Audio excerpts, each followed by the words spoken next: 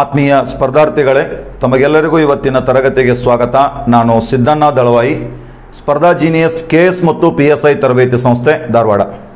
ಆತ್ಮೀಯರೇ, ನಾವು ಇಲ್ಲಿವರೆಗೆ ಈ ಇತಿಹಾಸಕ್ಕೆ ಸಂಬಂಧಪಟ್ಟಂಥ ಕೆಲವೊಂದಿಷ್ಟು, ಆಮೇಲೆ ಸಾಮಾನ್ಯ ಅಧ್ಯಯನಕ್ಕೆ ಸಂಬಂಧಪಟ್ಟಂಥ ಕೆಲವೊಂದಿಷ್ಟು ಅಂಶಗಳನ್ನು ನೋಡಿದ್ವಿ. ಅದಷ್ಟೇ ಅಲ್ಲದೆ, ನಾವು ಎರಡು ಕ್ಲಾಸ್ಗಳಲ್ಲಿ ಈ ಬ್ರಿಟಿಷರ ಕಾಲದಲ್ಲಿ ಜಾರಿಗೆ ಬಂದಿರತಕ್ಕಂಥ ಕೆಲವು ಕಾಯ್ದೆಗಳ ಬಗ್ಗೆ ಅಧ್ಯಯನ ಮಾಡಿದ್ವಿ. ಆದರೆ ಇನ್ನೇನು ಕೆಲವೇ ದಿನಗಳಲ್ಲಿ ಮತ್ತೆ ಈಗೇನು ಪೊಲೀಸ್ ನೋಟಿಫಿಕೇಶನ್ ಆಗ್ಯದೋ, ಆ ಎಕ್ಸಾಮ್ ಬರಲಿದೆ. ಅದರ ಜೊತೆಗೆ ಪಿ ಎಸ್ ಐ ಪರೀಕ್ಷೆ ಕೂಡ ಬರ್ತದೆ. ಎರಡು ನೋಟಿಫಿಕೇಶನ್ ಆಗಿದಾವ ಅಷ್ಟೇ ಅಲ್ಲದೆ ಎಸ್ ಡಿ ಎ ಪರೀಕ್ಷೆ ಎರಡು ಸಾರಿ ಪೋಸ್ಟ್ ಪೋಸ್ಟ್ಪೋನ್ ಆಗಿ ಇನ್ನೇ, ಇನ್ನಿದು ಲಾಕ್ಡೌನ್ ಮುಗಿದ ನಂತರ ಆ ಪರೀಕ್ಷೆನೂ ಕೂಡ ಬರಲಿದೆ. ಅಷ್ಟೇ ಅಲ್ಲದೆ ಇತ್ತೀಚಿನ ಒಂದು ಹೊಸ ಅಪ್ಡೇಟ್ ಏನಪ್ಪಾ ಅಂತಂದ್ರೆ ಒಂದು ಕೆ ಎಸ್ ನೋಟಿಫಿಕೇಶನ್ ಮತ್ತೆ ಆಗ್ತದ ಅಂತೇಳಿ ಒಂದು ಹೊಸ ಅಪ್ಡೇಟ್ ಇದೆ. ಅಷ್ಟೇ ಅಲ್ಲದೆ ಶಿಕ್ಷಕರ ಪೋಸ್ಟ್ ಸಹಿತ ಈಗ ನೋಟಿಫಿಕೇಶನ್ ಆಗ್ತದೆ. ಆಮೇಲೆ ಇನ್ನು ಕೆಲವೊಂದಿಷ್ಟು ನೇಮಕಾತಿಗಳು ಆಗಲಿವೆ. ಯಾವುದೇ ಕಾರಣಕ್ಕೂ ನೇಮಕಾತಿ ನಿಂತ್ಕೊಳ್ಳಲ್ಲ, ಅದು ಹಾಗೆ ಮುಂದುವರಿತಾ ಇರ್ತದೆ. ಆ ದೃಷ್ಟಿಯಿಂದ ನಾವು ಕಡಿಮೆ ಸಮಯದಲ್ಲಿ ಹೆಚ್ಚಿನ ವಿಷಯಗಳನ್ನು ಕವರ್ ಮಾಡಬೇಕು. ಅದರ ಜೊತೆಗೆ ಒಂದು ಟಾಪಿಕ್ ತಗೊಂಡ್ರೆ ಆ ಟಾಪಿಕ್ ಮೇಲೆ ಬರ್ತಕ್ಕಂಥ ಎಲ್ಲ ಕ್ವಶನ್ಸ್ಗಳನ್ನು ಕವರ್ ಮಾಡಬೇಕು ಅಂತ ಉದ್ದೇಶದಿಂದ ನಾನು ಇಲ್ಲಿ ಕೆಲವೊಂದಿಷ್ಟು ಅಂಶಗಳನ್ನು ಇವತ್ತು, ಇವತ್ತಿಂದ ಸ್ಟಾರ್ಟ್ ಮಾಡ್ತಾರೆ ಅಂದರೆ ಯಾವ ರೀತಿ ಅಂತಂದರೆ ವೆಬ್ಸೈಟ್ನಲ್ಲಿ ಬಂದಿರತಕ್ಕಂಥ ಪ್ರಶ್ನೆಗಳು, ಅಷ್ಟೇ ಅಲ್ಲದೆ ಈ ಹಳೆ ಪ್ರಶ್ನೆ ಪತ್ರಿಕೆಯಲ್ಲಿರ್ತಕ್ಕಂಥ ಪ್ರಶ್ನೆಗಳು ಆಗಿರ್ಬೋದು, ಅಥವಾ ಕೆಲವೊಂದಿಷ್ಟು ಸಂಭವನೀಯ ಪ್ರಶ್ನೆಗಳು, ಈ ರೀತಿಯಾಗಿ ಒಂದು ಟಾಪಿಕ್ ಅನ್ನ ಚಾಯ್ಸ್ ಮಾಡಿಕೊಂಡ್ರೆ ಆ ಟಾಪಿಕ್ ಮೇಲೆ ಒಂದು ಕ್ಲಾಸು ಟೋಟಲ್ ಆಗಿ ಅಲ್ಲಿ ಬರ್ತಕ್ಕಂಥ ಎಲ್ಲ ಕ್ವಶನ್ಸ್ ಅನ್ನ ಕವರ್ ಮಾಡೋದು ಆ ರೀತಿಯಾಗಿ. ಇವತ್ತು ನಾವು ಮೊದಲು ಒಂದು ಟಾಪಿಕ್ನೊಂದಿಗೆ ಸ್ಟಾರ್ಟ್ ಮಾಡೋಣ. ಅದು ಯಾವುದಪ್ಪ ಅಂದ್ರೆ ಬಣವಾಸಿಯ ಕದಂಬರು ಅಂತೇಳಿ, ಬಣವಾಸಿಯ ಕದಂಬರು. ಇಲ್ಲಿ ವಿವರಣಾತ್ಮಕವಾಗಿಯೇ ಇರ್ತದೆ. ಅದರ ಜೊತೆಗೆ ಅಲ್ಲಿ ರಿಪೀಟ್ ಆಗಿರ್ತಕ್ಕಂಥ ಪ್ರಶ್ನೆಗಳನ್ನು ಸಹಿತ ಪ್ರಶ್ನೆ ಡಿಸ್ಪ್ಲೇ ಮಾಡಿ ನಿಮಗೆ ಆನ್ಸರ್ ಅನ್ನ ಪಡೆಯಲಾಗ್ತದೆ. ಆ ರೀತಿಯಾಗಿ ಇದು ಮುಂದುವರಿತದೆ. ಅದಕ್ಕೆ ನಿರಂತರವಾಗಿ ನೋಡ್ತಾ ಇರಿ. ಇವತ್ತಿನ ಒಂದು ಟಾಪಿಕ್ ಬನವಾಸಿಯ ಕದಂಬರು. ಈ ಕರ್ನಾಟಕ ಇತಿಹಾಸಕ್ಕೆ ಸಂಬಂಧಪಟ್ಟ ಹಾಗೆ ವಿಶೇಷವಾಗಿ ನಮ್ಮ ಪಿ ಎಸ್ ಆಗಿರ್ಬೋದು ಪಿ ಸಿ ಆಗಿರ್ಬೋದು ಇಲ್ಲಿ ಸುಮಾರು ಮೂರ್ನಾಲ್ಕು ಪ್ರಶ್ನೆಗಳನ್ನು ಕೇಳ್ತಿರ್ತಾರೆ ಪ್ರತಿ ಸಾರಿ. ಮೂರು, ಮೂರಿಂದ ಐದು ಪ್ರಶ್ನೆಗಳು. ಇನ್ನು ಆಮೇಲೆ ಕೆ ಎಸ್ನೊಳಗಂತೂ ಹೆಚ್ಚು ಪ್ರಶ್ನೆ, ಆಧುನಿಕ ಭಾರತವನ್ನು ಬಿಟ್ಟರೆ ಹೆಚ್ಚು ಪ್ರಶ್ನೆ ಕೇಳೋದು ಕರ್ನಾಟಕ ಇತಿಹಾಸದ ಮೇಲೆ. ಕೆ ಎಸ್ನಿಂದ ಹಿಡಿದು ಈ ಪಿ ಸಿ ಎಕ್ಸಾಮ್ವರೆಗೆ ಎಲ್ಲ ಕಡೆಗೆ ಕವರ್ ಆಗುವ ಹಾಗೆ ನಾನು ಇಲ್ಲಿ ವಿಶ್ಲೇಷಣೆಯನ್ನು ಮಾಡ್ತಾ ಮಾಡ್ತಾ ಹೋಗ್ತೇನೆ. ಇವತ್ತಿನ ಕ್ಲಾಸ್ ಒಳಗೆ ಈ ಬನವಾಸಿಯ ಕದಂಬರಿ ಸಂಬಂಧಪಟ್ಟಂಥ ಕೆಲವು ಅಂಶಗಳನ್ನು ನಾವು ನೋಡೋಣ. ಹೀಗಿದೆ ಮೊದಲನೆಯ ಪ್ರಶ್ನೆ. ಬೈಜಾಂಟಿಯಂ ಎಂದು ಕರೆಯುವ ಕರ್ನಾಟಕದ ಅತಿ ಪುರಾತನ ನಗರ ಯಾವುದು? ಬೈಜಾಂಟಿಯಂ ಎಂದು ಕರೆಯುವ ಕರ್ನಾಟಕದ ಅತಿ ಪುರಾತನ ನಗರ ಯಾವುದು ಅಂತ ಪ್ರಶ್ನೆ ಇದೆ. A Shravanabelagola B, Lakshmeshwar, C Banavasi D, Vatapi ಅಂತೇಳಿ ಆಪ್ಷನ್ಸ್ ಇದೆ. ಓಕೆ ಇದು ಕ್ವಶನ್ ನಂಬರ್ ಒಂದು. ಕ್ವಶನ್ ನಂಬರ್ ಒಂದು. ಏನ್ ಕೊಡದಾರ ಅಂತಂದ್ರ ಬೈಜಾಂಟಿಯಂ ಅಥವಾ ಬೈಜಾಂಟಿಯನ್ ಎಂದು ಕರೆಯಿಸಿಕೊಳ್ಳುವ, ಬೈಜಾಂಟಿಯಂ ಅಥವಾ ಬೈಜಾಂಟಿಯನ್ ಎಂದು ಕರೆಯಿಸಿಕೊಳ್ಳುವ ಒಂದು ನಗರ ಯಾವುದು? ಕರ್ನಾಟಕದ ಅತ್ಯಂತ ಪುರಾತನ ನಗರ ಯಾವುದು ಅಂತ ಪ್ರಶ್ನೆ ಕೇಳಿದ್ದಾರೆ. ಓಕೆ, ಇಲ್ಲಿ ಒಂದು ನಗರ ಯಾವುದಪ್ಪ ಅಂತಂದ್ರೆ ವೈಜಯಂತಿಪುರ ಅಂತಕ್ಕಂಥ ಒಂದು ನಗರ ವೈಜಯಂತಿಪುರ. ನಮ್ಮ ರಾಮಾಯಣ ಮತ್ತು ಮಹಾಭಾರತಗಳಲ್ಲಿ ಉಲ್ಲೇಖ ಇರತಕ್ಕಂಥ ವೈಜಯಂತಿಪುರ ಅಂತ ಒಂದು ನಗರ. ಈ ವೈಜಯಂತಿಪುರ ಇಂದಿನ ಬನವಾಸಿ. ವೈಜಯಂತಿಪುರ ಇಂದಿನ ಬನವಾಸಿ ಇದು. ಬನವಾಸಿ ಇದಿರೋದು ಇಂದಿನ ಉತ್ತರ ಕನ್ನಡ ಜಿಲ್ಲೆಯ ಸಿರ್ಸಿ ತಾಲೂಕಿನ ಉತ್ತರ ಕನ್ನಡ ಜಿಲ್ಲೆಯ ಸಿರ್ಸಿ ತಾಲೂಕಿನೊಳಗೆ ವರದಾ ನದಿಯ ದಡದಲ್ಲಿ ಇರ್ತಕ್ಕಂಥ ಒಂದು ನಗರ ಇದು ಬನವಾಸಿ ಅಂತಿದೆ. ಅಂದ್ರ ಬನವಾಸಿಯಲ್ ಬಣವಾಸಿ ಅಂತ ಏನೈತೋ ಈ ಬಣವಾಸಿಯು, ಬಣವಾಸಿಯನ್ನ ಈ ರಾಮಾಯಣ ಮಹಾಭಾರತಗಳಲ್ಲಿ ಏನೆಂದು ಉಲ್ಲೇಖಿಸಲಾಗಿದೆ ಅಂತ ಪ್ರಶ್ನೆಯನ್ನು ಕೇಳಿದ್ರ? ವೈಜಯಂತಿಪುರ ಅಂತ ಉಲ್ಲೇಖಿಸಿದ್ರ. ಇದರ, ಇದು, ಅಂದ್ರೆ ಇದರಲ್ಲ, ಇದು ಯಾವ ನದಿಯ ದಡದಲ್ಲಿದೆ ಅಂತ ಕೇಳಿದ್ರ? ಇದು ವರದಾ ನದಿಯ ದಡದಲ್ಲಿ ಉತ್ತರ ಕನ್ನಡ ಜಿಲ್ಲೆಯ ಸಿರಸಿ ತಾಲೂಕಿನಲ್ಲಿ ಬರತಕ್ಕಂತ ಒಂದು ನಗರ ಇದು ಬನವಾಸಿ ಅಂತೇಳಿ. ಇಲ್ಲೊಬ್ಬ ಗ್ರೀಕ್ನ ವ್ಯಕ್ತಿ ಬರ್ತಾನೆ, ಟಾಲೇಮಿ ಅಂತೇಳಿ. ಗ್ರೀಕ್ನ ವ್ಯಕ್ತಿ ಟಾಲೇಮಿ ಅಂತ ಇದ್ದಾನೆ. ಗ್ರೀಕ್ನ ಟಾಲೇಮಿ ಎಂಬ ವ್ಯಕ್ತಿಯು ಆ ಒಂದು ಗ್ರಂಥವನ್ನು ಬರೀತಾನ, ಆ ಗ್ರಂಥದ ಹೆಸರು ಜಿಯೋಗ್ರಫಿ ಅಂತೇಳಿ. ಗ್ರೀಕ್ನ ಟಾಲೇಮಿಯು ಬರೆದಿರ್ತಕ್ಕಂಥ ಒಂದು ಗ್ರಂಥ ಜಿಯೋಗ್ರಫಿ ಅಂತಿದೆ. ಜಿಯೋಗ್ರಫಿ ಎಂಬ ಗ್ರಂಥದೊಳಗ ಈ ಟಾಲೇಮಿಯು ಬನವಾಸಿಯನ್ನ ಬೈಜಾಂಟಿಯಂ ಅಥವಾ ಬೈಜಾಂಟಿಯನ್ ಅಂತ ಕರೀತಾನೆ. ಬೈಜಾಂಟಿಯಂ ಅಥವಾ ಬೈಜಾಂಟಿಯನ್ ಅಂತೇಳಿ ಆತ ಕರಿತಿರ್ತಾನ. ಅಂದ್ರೆ ಇಲ್ಲಿ ಪ್ರಶ್ನೆ ಕೇಳಿದ್ದೇನು, ಕರ್ನಾಟಕದ ಯಾವ ಪುರಾತನ ನಗರವನ್ನ ಬೈಜಾಂಟಿಯನ್ ಎಂದು ಕರೆಯಲಾಗಿದೆ ಅಂತ ಪ್ರಶ್ನೆ ಕೇಳಿದ್ರ? ಬನವಾಸಿಯನ್ನ ಬೈಜಾಂಟಿಯನ್ ಎಂದು ಕರೆಯಲಾಗಿದೆ. ಇದು ಕದಂಬರ ರಾಜಧಾನಿಯಾಗಿತ್ತು. ಕದಂಬರ ರಾಜಧಾನಿಯಾಗಿತ್ತು. ಇವತ್ತಿಗೂ ಸಹಿತ ಅಲ್ಲಿ ಕದಂಬ ಉತ್ಸವ ಅಂತೇಳಿ ಆಚರಣೆ ಮಾಡ್ತಿರ್ತಾರೆ ಬನವಾಸಿ ಒಳಗ. ಎಸ್, ಇದು ಮೊದಲನೆಯ ಪ್ರಶ್ನೆ ಇದು. ಇನ್ನು ನಾವು ನೇರವಾಗಿ ಎರಡನೇ ಪ್ರಶ್ನೆಯನ್ನ ನೋಡೋಣ. ಹೀಗಿದೆ ಎರಡನೇ ಪ್ರಶ್ನೆ. ಕದಂಬರ ರಾಜಲಾಂಛನ ಯಾವುದು ಅಂತೇಳಿ. ಕದಂಬರ ರಾಜಲಾಂಛನ ಯಾವುದು? ಕದಂಬರ ರಾಜ ಲಾಂಛನ ಯಾವುದು ಅಂತೇಳಿ ಇಲ್ಲಿ ಪ್ರಶ್ನೆಯನ್ನು ಕೊಟ್ಟಿದ್ದಾರೆ. ಎ ವಾನರ ಬಿ, ಸಿಂಹ, ಸಿ, ಗಜ, ಡಿ, ವರಾಹ ಅಂತ ಆಪ್ಷನ್ಸ್ ಇದೆ. ನಾನಿಲ್ಲಿ ಈಜಿ ಪ್ರಶ್ನೆಯನ್ನು ತೊ, ಪ್ರಶ್ನೆಗಳನ್ನು ತಗೊಂಡೇನೆ. ಆದರೆ ಇಲ್ಲಿ ವಿವರಣೆ ಮಾತ್ರ ಬಹಳಷ್ಟು ಇರ್ತದೆ, ಅದಕ್ಕೆ ಸರಿಯಾಗಿ ಈ ತರಗತಿಯನ್ನು ಕೇಳಬೇಕು, ಅದ್ರ ಜೊತೆಗೆ ನೋಟ್ಸ್ ಮಾಡ್ಕೊಳ್ಳೋದಕ್ಕೆ ಪ್ರಯತ್ನ ಮಾಡಬೇಕು. ಇವಾಗ ನೋಡೋಣ, ಕದಂಬರು. ಕದಂಬರ ರಾಜ ಲಾಂಛನ ಯಾವುದು ಅಂತ ಕೇಳಿದರೆ, ಕದಂಬರ ರಾಜ ಲಾಂಛನ ಸಿಂಹ. ಕದಂಬರ ರಾಜ ಲಾಂಛನ ಯಾವುದು? ಸಿಂಹ ಅಂತೇಳಿ. ಕರ್ನಾಟಕವನ್ನು ಆಳಿದಂತಹ ರಾಜಮನೆತನಗಳನ್ನು ನೋಡಿದಾಗ ಕೆಲವೊಂದಿಷ್ಟು ಉದಾಹರಣೆಗೆ ಗಂಗರು, ಬಾದಾಮಿ ಚಾಲುಕ್ಯರು, ರಾಷ್ಟ್ರಕೂಟರು, ಕಲ್ಯಾಣ ಚಾಲುಕ್ಯರು, ಹೊಯ್ಸಳರು, ಮೈಸೂರು ಒಡೆಯರು, ವಿಜಯನಗರ ಅಂತ ಬರ್ತಾವೆ. ಈ ಎಲ್ಲ ರಾಜಲಾಂಛನಗಳ ಬಗ್ಗೆ ನಮಗೆ ಬಹಳ ಇಂಪಾರ್ಟೆಂಟ್ ಪಿ ಸಿ ಮತ್ತು ಪಿ ಎಸ್ ಎಕ್ಸಾಮ್ ಅಲ್ಲಿ ಕೇಳ್ತಿರ್ತಾರ. ಇದು ನೆನ್ಪಿಟ್ಕೊಂಡ್ಬಿಡ್ರಿ ಈಜಿ ಅದ. ಈಗ ನೋಡ್ರಿ, ಕದಂಬರ ರಾಜ ಲಾಂಛನ ಯಾವುದು ಅಂತ ಕೇಳಿದ್ರ, ಅದು ಸಿಂಹ. ಗಂಗರ ರಾಜಲಾಂಛನ ಮದಗಜ, ಮದವೇರಿದ ಆಣೆ ಈ ಗಂಗರ ರಾಜಲಾಂಛನ ಆಗ್ಯದ. ಗಂಗರ ರಾಜಲಾಂಛನ. ಇವರ ನಂತರ ಬರೋರು ಬಾದಾಮಿಯ ಚಾಲುಕ್ಯರು ಅಂತೇಳಿ, ಬಾದಾಮಿಯ ಚಾಲುಕ್ಯರು. ಅಂದ್ರೆ ಕದಂಬರ ನಂತರ ಆಡಳಿತವನ್ನು ಮಾಡ್ತಾರೆ ಬಾದಾಮಿಯ ಚಾಲುಕ್ಯರು.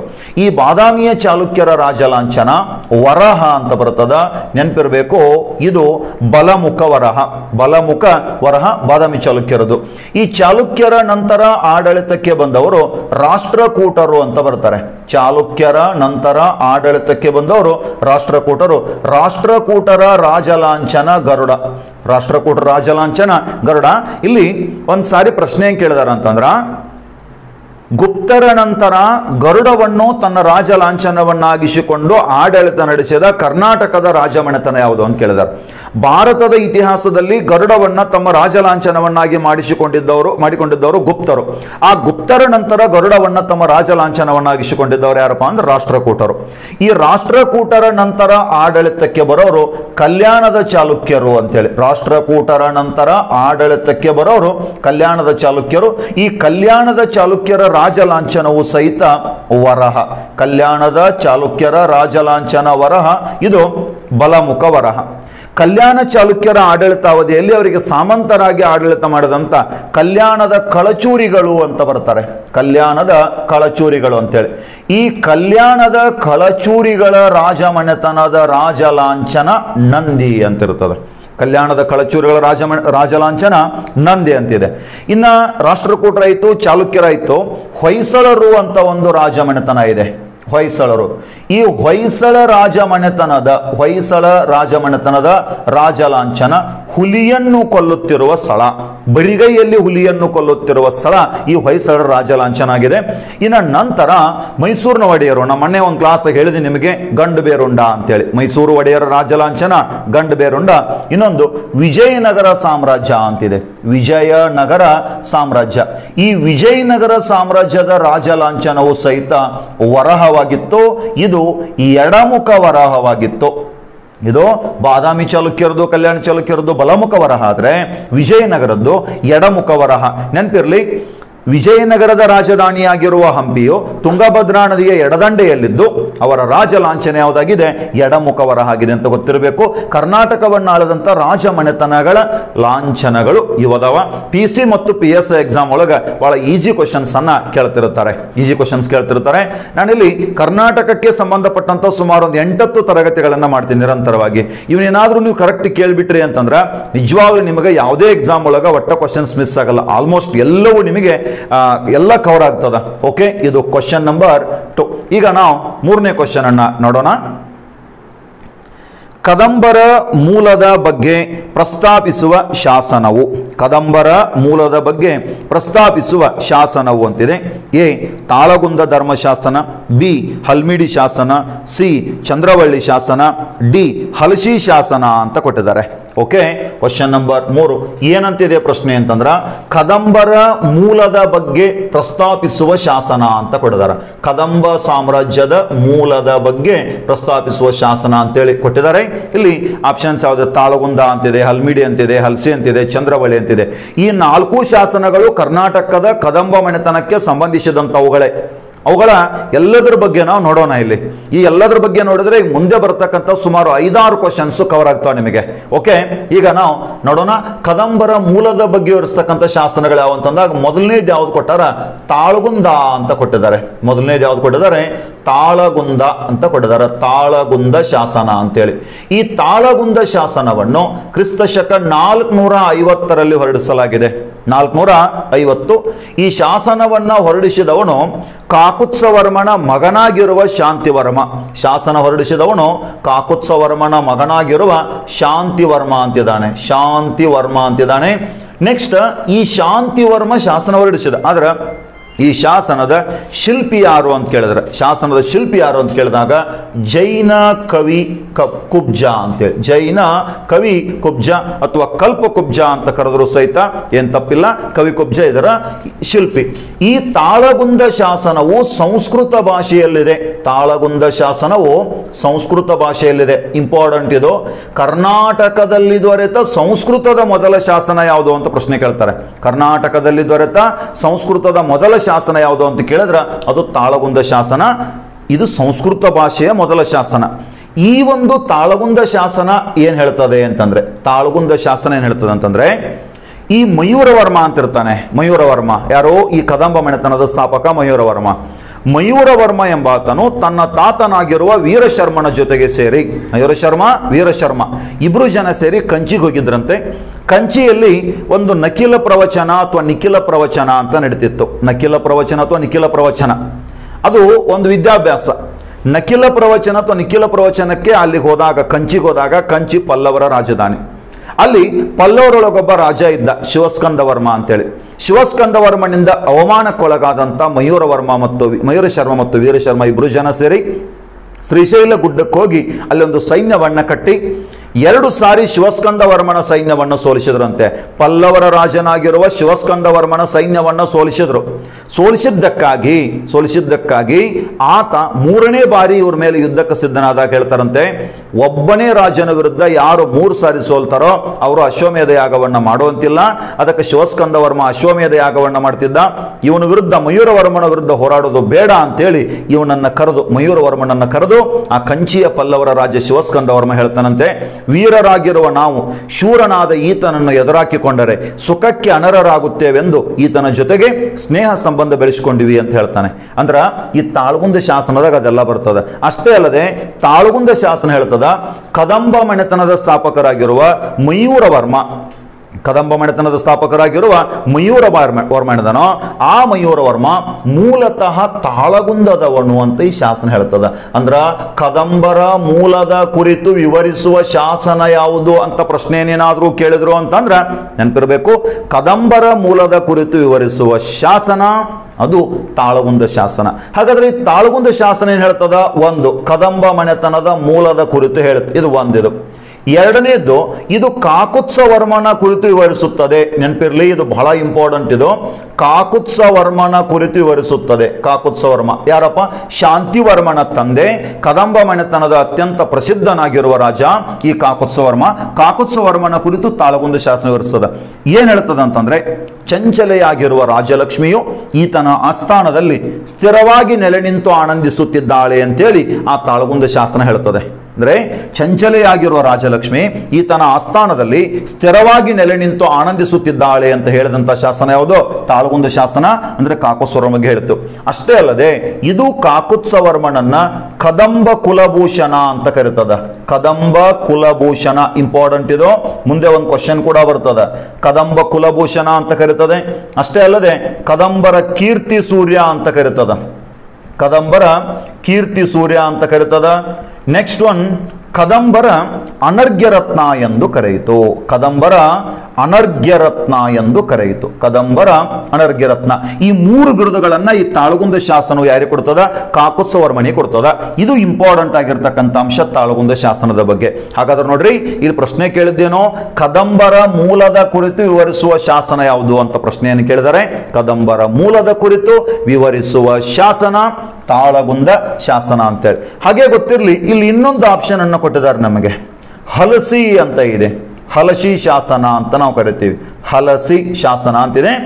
ಈ ಹಲಸಿ ಅಂತಕ್ಕಂಥದ್ದು ಇವತ್ತಿನ ಬೆಳಗಾವಿ ಜಿಲ್ಲೆಯ ಖಾನಾಪುರ ತಾಲೂಕಿನ ಒಂದು ಹಳ್ಳಿದು. ಬೆಳಗಾವಿ ಜಿಲ್ಲೆಯ ಖಾನಾಪುರ ತಾಲೂಕಿನ ಒಂದು ಹಳ್ಳಿ. ಈ ಹಳ್ಳಿಯಲ್ಲಿ ಸಿಕ್ಕಂತ ಹಲಸಿ ಶಾಸನ, ಅದು ತಾಮ್ರಪಟ ಶಾಸನ. ಅಂದ್ರೆ ತಾಮ್ರದ ಹಾಳಿಯ ಮೇಲೆ ಕೆತ್ತಿರುವ ಶಾಸನ ಇದು. ಕಾಪರ್ ಪ್ಲೇಟ್ ಇನ್ಸ್ಕ್ರಿಪ್ಷನ್ ಅಂತ ಕರಿತೀವಿ ಅದನ್ನ. ಏನು ಹಲಸಿ ಶಾಸನ ಐತೋ ಇದನ್ನು ಹೊರಡಿಸಿದವನು ಕಾಕುತ್ಸವರ್ಮ. ಈ ಹಲಸಿ ಶಾಸನವು ಕಾಕುತ್ಸವರ್ಮನನ್ನು ಭವ್ಯ ವ್ಯಕ್ತಿ ಎಂದು ಕರೆದಿದೆ. ಹಲಸಿ ಶಾಸನವು ಕಾಕುತ್ಸವರ್ಮನನ್ನು ಭವ್ಯ ವ್ಯಕ್ತಿ ಎಂದು ಕರೆದಿದೆ. ನೆನ್ಪಿಟ್ಟುಕೊಳ್ರಿ ಇದು ಯಾರನ್ನು ಭವ್ಯ ವ್ಯಕ್ತಿ ಎಂದು ಕರೆದಿದೆ? ಕಾಕುತ್ಸವರ್ಮನನ್ನ. ಕ್ವಶನ್ ಕೆ ಎಸ್ನ ಕೇಳಿರ್ತಕ್ಕಂಥ ಪ್ರಶ್ನೆ ಏನಪ್ಪಾ ಅಂತಂದ್ರೆ ಈ ಕೆಳಗಿನ ಯಾವ ಶಾಸನವು ಕದಂಬರ ದೊರೆ ಕಾಕುತ್ಸವರ್ಮನನ್ನು ಕಾಕುತ್ಸವರ್ಮನನ್ನು ಭವ್ಯ ವ್ಯಕ್ತಿ ಎಂದು ಕರೆಯಿತು ಅಂತ ಪ್ರಶ್ನೆಯನ್ನು ಕೇಳಿದ್ದಾರೆ ಭವ್ಯ ವ್ಯಕ್ತಿ ಎಂದು ಕರೆಯಿತು ಅಂತೇಳಿ. ಸಾಮಾನ್ಯವಾಗಿ ಕಾಕುತ್ಸವರ್ಮ ಅಂದ ತಕ್ಷಣ ನಮಗೆ ನೆನಪಿಗೆ ಬರ್ತಕ್ಕಂಥ ಒಂದು ಶಾಸನ ಯಾವುದಪ್ಪ? ಹಲ್ಮಿಡಿ ಶಾಸನ. ಆದ್ರೆ ಹಲ್ಮಿಡಿ ಶಾಸನದಲ್ಲಿ ಈ ಕಾಕುತ್ಸವರ್ಮನ ಹೊಗಳಿಲ್ಲ. ಈ ಒಂದು ಹಲಸಿ ಶಾಸನವು ಕಾಕುತ್ಸವರ್ಮನನ್ನ ಭವ್ಯ ವ್ಯಕ್ತಿ ಎಂದು ಕರೆತದ. ಇನ್ನೆರಡು ಆಪ್ಷನ್ ಅದಾವ ಹಲ್ಮಿಡಿ ಮತ್ತು ಚಂದ್ರವಳ್ಳಿ ಅಂತ. ಅದ್ರ ಅವುಗಳ ಬಗ್ಗೆ ನಾವು ಆಮೇಲೆ ನೋಡೋಣ. ಇದು ಕ್ವಶನ್ ನಂಬರ್ ತ್ರೀ ಓಕೆ ಈಗ ನೆಕ್ಸ್ಟ್ ಒನ್ ನೋಡೋಣ. ನಾಲ್ಕನೆಯ ಪ್ರಶ್ನೆ. ಡ್ಯಾಶ್ ಎಂಬ ಪಲ್ಲವ ದೊರೆಯನ್ನು ಮಯೂರವರ್ಮನು ಸೋಲಿಸಿ ಕದಂಬ ವಂಶವನ್ನು ಸ್ಥಾಪಿಸಿದನು. ಎಸ್ ಯಾವ ಪಲ್ಲವ ದೊರೆಯನ್ನು ಮಯೂರವರ್ಮನು ಸೋಲಿಸಿ ಕದಂಬ ವಂಶವನ್ನು ಸ್ಥಾಪಿಸಿದನು ಅಂತ ಪ್ರಶ್ನೆ ಇದೆ. ಎ. ಮಹೇಂದ್ರವರ್ಮ, ಬಿ. ಒಂದನೇ ನರಸಿಂಹವರ್ಮ, ಸಿ. ಶಿವಸ್ಕಂದವರ್ಮ, ಡಿ. ಸಿಂಹ ವಿಷ್ಣು ಅಂತೇಳಿ ಆಪ್ಷನ್ಸ್ ಅನ್ನು ಕೊಟ್ಟಿದ್ದಾರೆ. ಕರೆಕ್ಟ್ ಆಗಿ ಈ ಪ್ರಶ್ನೆಯನ್ನ ನೀವು ನೋಡ್ರಿ. ಕ್ವಶನ್ ನಂಬರ್ ನಾಲ್ಕು. ಕ್ವಶನ್ ನಂಬರ್ ನಾಲ್ಕು. ಏನಿದೆ ಪ್ರಶ್ನೆ ಅಂತಂದ್ರೆ ನಮ್ಮ ಮಯೂರವರ್ಮನು ಯಾರನ್ನು ಸೋಲಿಸಿ ಕದಂಬ ಮಣೆತನವನ್ನು ಸ್ಥಾಪಿಸಿದ ಅಂತ ಪ್ರಶ್ನೆಯನ್ನು ಕೇಳಿದ್ದಾರೆ. ನಾನು ಈಗಲೇ ನಿಮಗೆ ಇದ್ರ ಬಗ್ಗೆ ಕಥೆಯನ್ನ ಹೇಳಿದೆ. ಉತ್ತರ ಅಂತ ನಿಮ್ಗೆ ಗೊತ್ತಾಗ್ಯದ. ಈ ಮಯೂರವರ್ಮನ ಶೌರ್ಯವನ್ನು ಕಂಡು ಶಿವಸ್ಕಂದ ವರ್ಮ ಹೇಳಿದಂತೆ ವೀರರಾದ ನಾವು, ಶೂರರಾದ ಆತನನ್ನು ಎದುರಾಕಿ, ಶೂರನಾದ ಆತನನ್ನು, ಅಂದ್ರೆ ಯಾರನ್ನು? ಮಯೂರವರ್ಮನನ್ನು ಎದುರಾಕಿಕೊಂಡರೆ. ಸುಖಕ್ಕೆ ಅನರ್ಹರಾಗುತ್ತೇವೆಂದು ಆತನ ಜೊತೆಗೆ ಸ್ನೇಹ ಸಂಬಂಧ ಬೆಳೆಸಿಕೊಂಡೆವಿ ಅಂತೇಳಿ ಯಾರು ಹೇಳ್ತಾರೆ? ಆ ಶಿವಸ್ಕಂದ ವರ್ಮ ಹೇಳ್ತಾನೆ. ಅಂದ್ರ ಈ ಮಯೂರವರ್ಮನು ಯಾರನ್ನು ಸೋಲಿಸಿ ಈ ಒಂದು ಕದಂಬ ಮನೆತನವನ್ನು ಸ್ಥಾಪಿಸಿದ ಅಂತ ಕೇಳಿದ್ರೆ ಶಿವ ಸಾರಿ ಶಿವಸ್ಕಂದ ವರ್ಮನನ್ನ ಸೋಲಿಸಿ ಈತನು ಈ ಮನೆತನವನ್ನ ಸ್ಥಾಪನೆ ಮಾಡ್ತಾನೆ. ಯಾರನ್ನ ಸೋಲಿಸಿ? ಶಿವಸ್ಕಂದ ವರ್ಮನ ಸೋಲಿಸಿ ಮನೆತನವನ್ನು ಸ್ಥಾಪನೆ ಮಾಡಿದ? ಇಲ್ಲಿ ಕತೆ ಅಂತೂ ಗೊತ್ತಿದೆ ನಿಮಗೆ. ಜೊತೆಗೆ ನಾನು ಕದಂಬ ಮನೆತನ ಯಾವ ರೀತಿಯಾಗಿ ಸ್ಥಾಪನೆ ಆಯಿತು ಅನ್ನೋದಕ್ಕೆ ಒಂದು ವಿಡಿಯೋ ಕೂಡ ಮಾಡಿದ್ದೀನಿ ನನ್ನ ಚಾನಲ್ ಒಳಗ. ಆಮೇಲೆ ಈ ಕ್ಲಾಸ್ ಮುಗಿದ ನಂತರ ನಿಮಗೆ ಡಿಸ್ಕ್ರಿಪ್ಷನ್ ಒಳಗ ಲಿಂಕ್ ಅನ್ನ ಹಾಕಿರ್ತೀನಿ, ನೀವು ಅದನ್ನ ಆಮೇಲೆ ನೋಡ್ರಿ. ಓಕೆ ಇದು ಕ್ವಶನ್ ನಂಬರ್ ನಾಲ್ಕು. ಮಯೂರವರ್ಮನು ಪಲ್ಲವರ ರಾಜನಾಗಿರುವ ಶಿವಸ್ಕಂದ ವರ್ಮನನ್ನ ಸೋಲಿಸಿ ಸಾಮ್ರಾಜ್ಯವನ್ನ ಸ್ಥಾಪನೆ ಮಾಡ್ತಾನೆ. ಓಕೆ ಕ್ವಶನ್ ನಂಬರ್ ನಾಲ್ಕು. ಓಕೆ ನೆಕ್ಸ್ಟ್ ಒನ್ ಐದನೇ ಪ್ರಶ್ನೆ. ತಾಳಗುಂದ ಧರ್ಮಶಾಸನ ಈ ಭಾಷೆಯಲ್ಲಿದೆ ಅಂತಿದೆ. ತಾಳಗುಂದ ಧರ್ಮಶಾಸನ ಈ ಭಾಷೆಯಲ್ಲಿದೆ ಅಂತೇಳಿ ಇಲ್ಲಿ ಪ್ರಶ್ನೆಯನ್ನ ಕೇಳಿದರೆ ಕರೆಕ್ಟ್ ನೋಡ್ರಿ ಇದನ್ನ A, Prakrit, B, Sanskrit, C, Kannada, D, Telugu ಅಂತೇಳಿ ಆಪ್ಷನ್ಸ್ ಇದಾವೆ. ನೆನಪಿರಲಿ?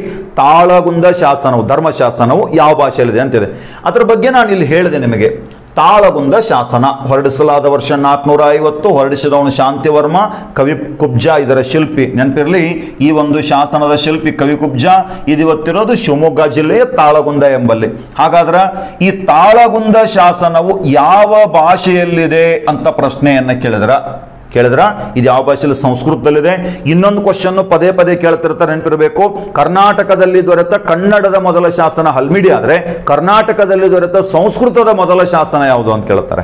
ಕರ್ನಾಟಕದಲ್ಲಿ ದೊರೆತ ಸಂಸ್ಕೃತ ಮೊದಲ ಶಾಸನ ಅಂತಂದ್ರೆ ಅದು ತಾಳಗುಂದ ಶಾಸನ. ನೆನಪಿರಲಿ? ಸಂಸ್ಕೃತ ಭಾಷೆ ಒಳಗಿದೆ ಇದು. ತಾಳಗುಂದ ಶಾಸನ ಅಂತೇಳಿ. ಓಕೆ ಇದು ಕ್ವಶನ್ ನಂಬರ್ ಐದು. ನಾವೀಗ ಮುಂದಿನ ಪ್ರಶ್ನೆಯನ್ನ ನೋಡೋಣ. ಕ್ವಶನ್ ನಂಬರ್ ಆರು. ಕನ್ನಡ ಭಾಷೆಯಲ್ಲಿ ರಚನೆಯಾದ ಮೊದಲ ಶಾಸನ ಯಾವುದು? ಕನ್ನಡ ಭಾಷೆಯಲ್ಲಿ ರಚನೆಯಾದ ಮೊದಲ ಶಾಸನ ಯಾವುದು ಅಂತೇಳಿ. ಎ, ತಾಳಗುಂದ ಶಾಸನ, ಬಿ, ಹಲ್ಮಿಡಿ ಶಾಸನ, ಸಿ, ಚಂದ್ರವಳ್ಳಿ ಶಾಸನ, ಡಿ, ಮಳವಳ್ಳಿ ಶಾಸನ ಅಂತೇಳಿ ಆಪ್ಷನ್ಸ್ ಅನ್ನ ಕೊಟ್ಟಿದ್ದಾರೆ. ಕ್ವಶನ್ ನಂಬರ್ ಆರು. ನಾವು ನೋಡೋಣ, ನಿಮಗೆಲ್ಲ ಉತ್ತರ ಗೊತ್ತಿದೆ. ಯಾವ್ದಪ್ಪ ಅಂತಂದ್ರ ಕನ್ನಡದಲ್ಲಿ ರಚನೆಯಾದ ಮೊಟ್ಟ ಮೊದಲ ಶಾಸನ ಯಾವುದು ಅಂತ ಕೇಳಿದಾಗ ಹಲ್ಮಿಡಿ ಶಾಸನ ಅಂತ ನೀವೆಲ್ಲ ಹೇಳ್ತೀರಿ. ಓಕೆ ಈಗ ಉತ್ತರ ಅಂತೂ ಗೊತ್ತಾಗ್ಯದ. ಆದರೆ ಈಸಿ ಕ್ವಶನ್ ಆಗಿ ತಗೊಂಡೀನಿ ಅಂತಂದ್ರೆ ಇಲ್ಲಿ ನೆನಪಿರಬೇಕು ನಿಮಗೆಲ್ಲರಿಗೂ. ಇದರ ಹಿನ್ನೆಲೆ ಇದೆ. ಇದರ ಹಿನ್ನೆಲೆ ಬಹಳ ಇಂಪಾರ್ಟೆಂಟ್ ನಮಗೆ. ಆ ಹಿನ್ನೆಲೆಯನ್ನು ಹೇಳೋ ಉದ್ದೇಶದಿಂದಾಗಿ ನಾನು ಈ ಕ್ವಶನ್ ಚಾಯ್ಸ್ ಮಾಡ್ಕೊಂಡಿದ್ದೀನಿ. ನಿಮಗೆಲ್ಲರೂ ಗೊತ್ತಾಯಿತು, ಕನ್ನಡದ ಮೊಟ್ಟ ಮೊದಲ ಶಾಸನ ಯಾವುದು ಅಂತ ಕೇಳಿದ್ರೆ ಹಲ್ಮಿಡಿ ಶಾಸನ. ಇದನ್ನು ಹೊರಡಿಸಿದ್ದು ಕ್ರಿಸ್ತ ಶಕ ನಾಲ್ಕುನೂರ ಐವತ್ತರಲ್ಲಿ. ಕ್ರಿಸ್ತಶಕ ನಾಲ್ಕುನೂರ ಐವತ್ತರಲ್ಲಿ ಈ ಒಂದು ಶಾಸನವನ್ನು ಹೊರಡಿಸಲಾಯಿತು. ಹಾಗಾದ್ರೆ ಏನಪ್ಪ ಈ ಶಾಸನದ ವಿಶೇಷತೆ ಅಂತಂದ್ರೆ ಕರೆಕ್ಟಾಗಿ ನೆನಪಿರಲಿ, ಇದು ಇಂದಿನ ಹಾಸನ ಜಿಲ್ಲೆಯ ಬೇಲೂರು ತಾಲೂಕಿನ ಹಾಸನ ಜಿಲ್ಲೆಯ ಬೇಲೂರು ತಾಲೂಕಿನ ಹಲ್ಮಿಡಿ ಎಂಬ ಹಳ್ಳಿಯಲ್ಲಿದೆ. ಹಾಸನ ಜಿಲ್ಲೆಯ ಬೇಲೂರು ತಾಲೂಕಿನ ಹಲ್ಮಿಡಿ ಎಂಬ ಹಳ್ಳಿಯಲ್ಲಿ ಈ ಒಂದು ಶಾಸನ ಇದೆ.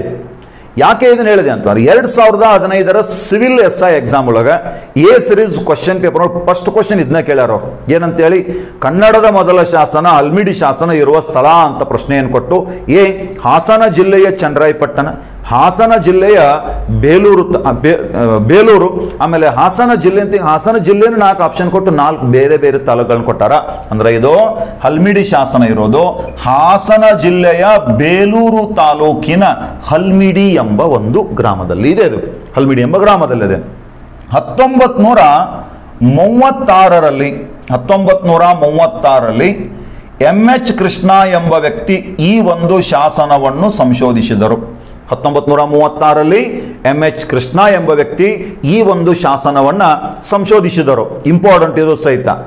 ಈ ಶಾಸನವು ಅಂದರೆ ಹಲ್ಮಿಡಿ ಶಾಸನವು ಪೂರ್ವದ ಹಳಗನ್ನಡ ಭಾಷೆಯಲ್ಲಿದೆ. ಇದು ಪೂರ್ವದ ಹಳಗನ್ನಡ. ಅಂದ್ರೆ ಹಳಗನ್ನಡಕ್ಕಿಂತಲೂ ಸ್ವಲ್ಪ ಪೂರ್ವದ ಹಳಗನ್ನಡ. ಪೂರ್ವದ ಹಳಗನ್ನಡ ಭಾಷೆ ಒಳಗಿದೆ ಅಂತಂದ್ರ ಇದಕ್ಕಿಂತ ಹಳೆಯ ಕನ್ನಡದ ದಾಖಲೆಗಳು ಯಾವುವು ನಮಗ ಸಿಕ್ಕಿಲ್ಲ ಅಂತಂದ್ರೆ ಕನ್ನಡದಲ್ಲಿ ರಚನೆಯಾದ ಮೊದಲ ಶಾಸನ ಯಾವುದು ಅಂತ ಕೇಳಿದ್ರೆ ಹಲ್ಮಿಡಿ ಶಾಸನ. ಬಹಳ ಸಾರಿ ಈಜಿ ಕ್ವಶನ್ ಕೇಳ್ತಿರ್ತಾರೆ. ಆದರೆ ಇತ್ತೀಚಿನ ಪ್ರಶ್ನೆ ಏನಾಗ್ತಾ ಇದ್ದಾವೆ ಅದೇ ಪ್ರಶ್ನೆ ಬಟ್ ಕೇಳೋ ಟೈಮ್ನಾಗ ಸ್ವಲ್ಪ ಡಿಫ್ರೆಂಟಾಗಿ ಕೇಳ್ತಾ ಇದ್ದಾರೆ ಅನ್ನೋ ಕಾರಣಕ್ಕಾಗಿ ಅದರ ಹಿನ್ನೆಲೆಯನ್ನು ಸಹಿತ ನಾವು ತಿಳ್ಕೊಳ್ಬೇಕಾಗ್ತದೆ. ಓಕೆ ನೋಡೋಣ. ಹಲ್ಮಿಡಿ ಶಾಸನ ಇದು ಪೂರ್ವದ ಹಳಗನ್ನಡದಲ್ಲಿದೆ. ಹಾಗಾದ್ರೆ ಈ ಶಾಸನವನ್ನ ಹೊರಡಿಸಿದವರು ಯಾರು ಅಂತ ಕೇಳಿದ್ರ? ಈ ಶಾಸನವನ್ನ ಹೊರಡಿಸಿದವನು ಕದಂಬರ ಅತ್ಯಂತ ಪ್ರಸಿದ್ಧ ದೊರೆಯಾಗಿರುವ ಕಾಕುತ್ಸವರ್ಮ.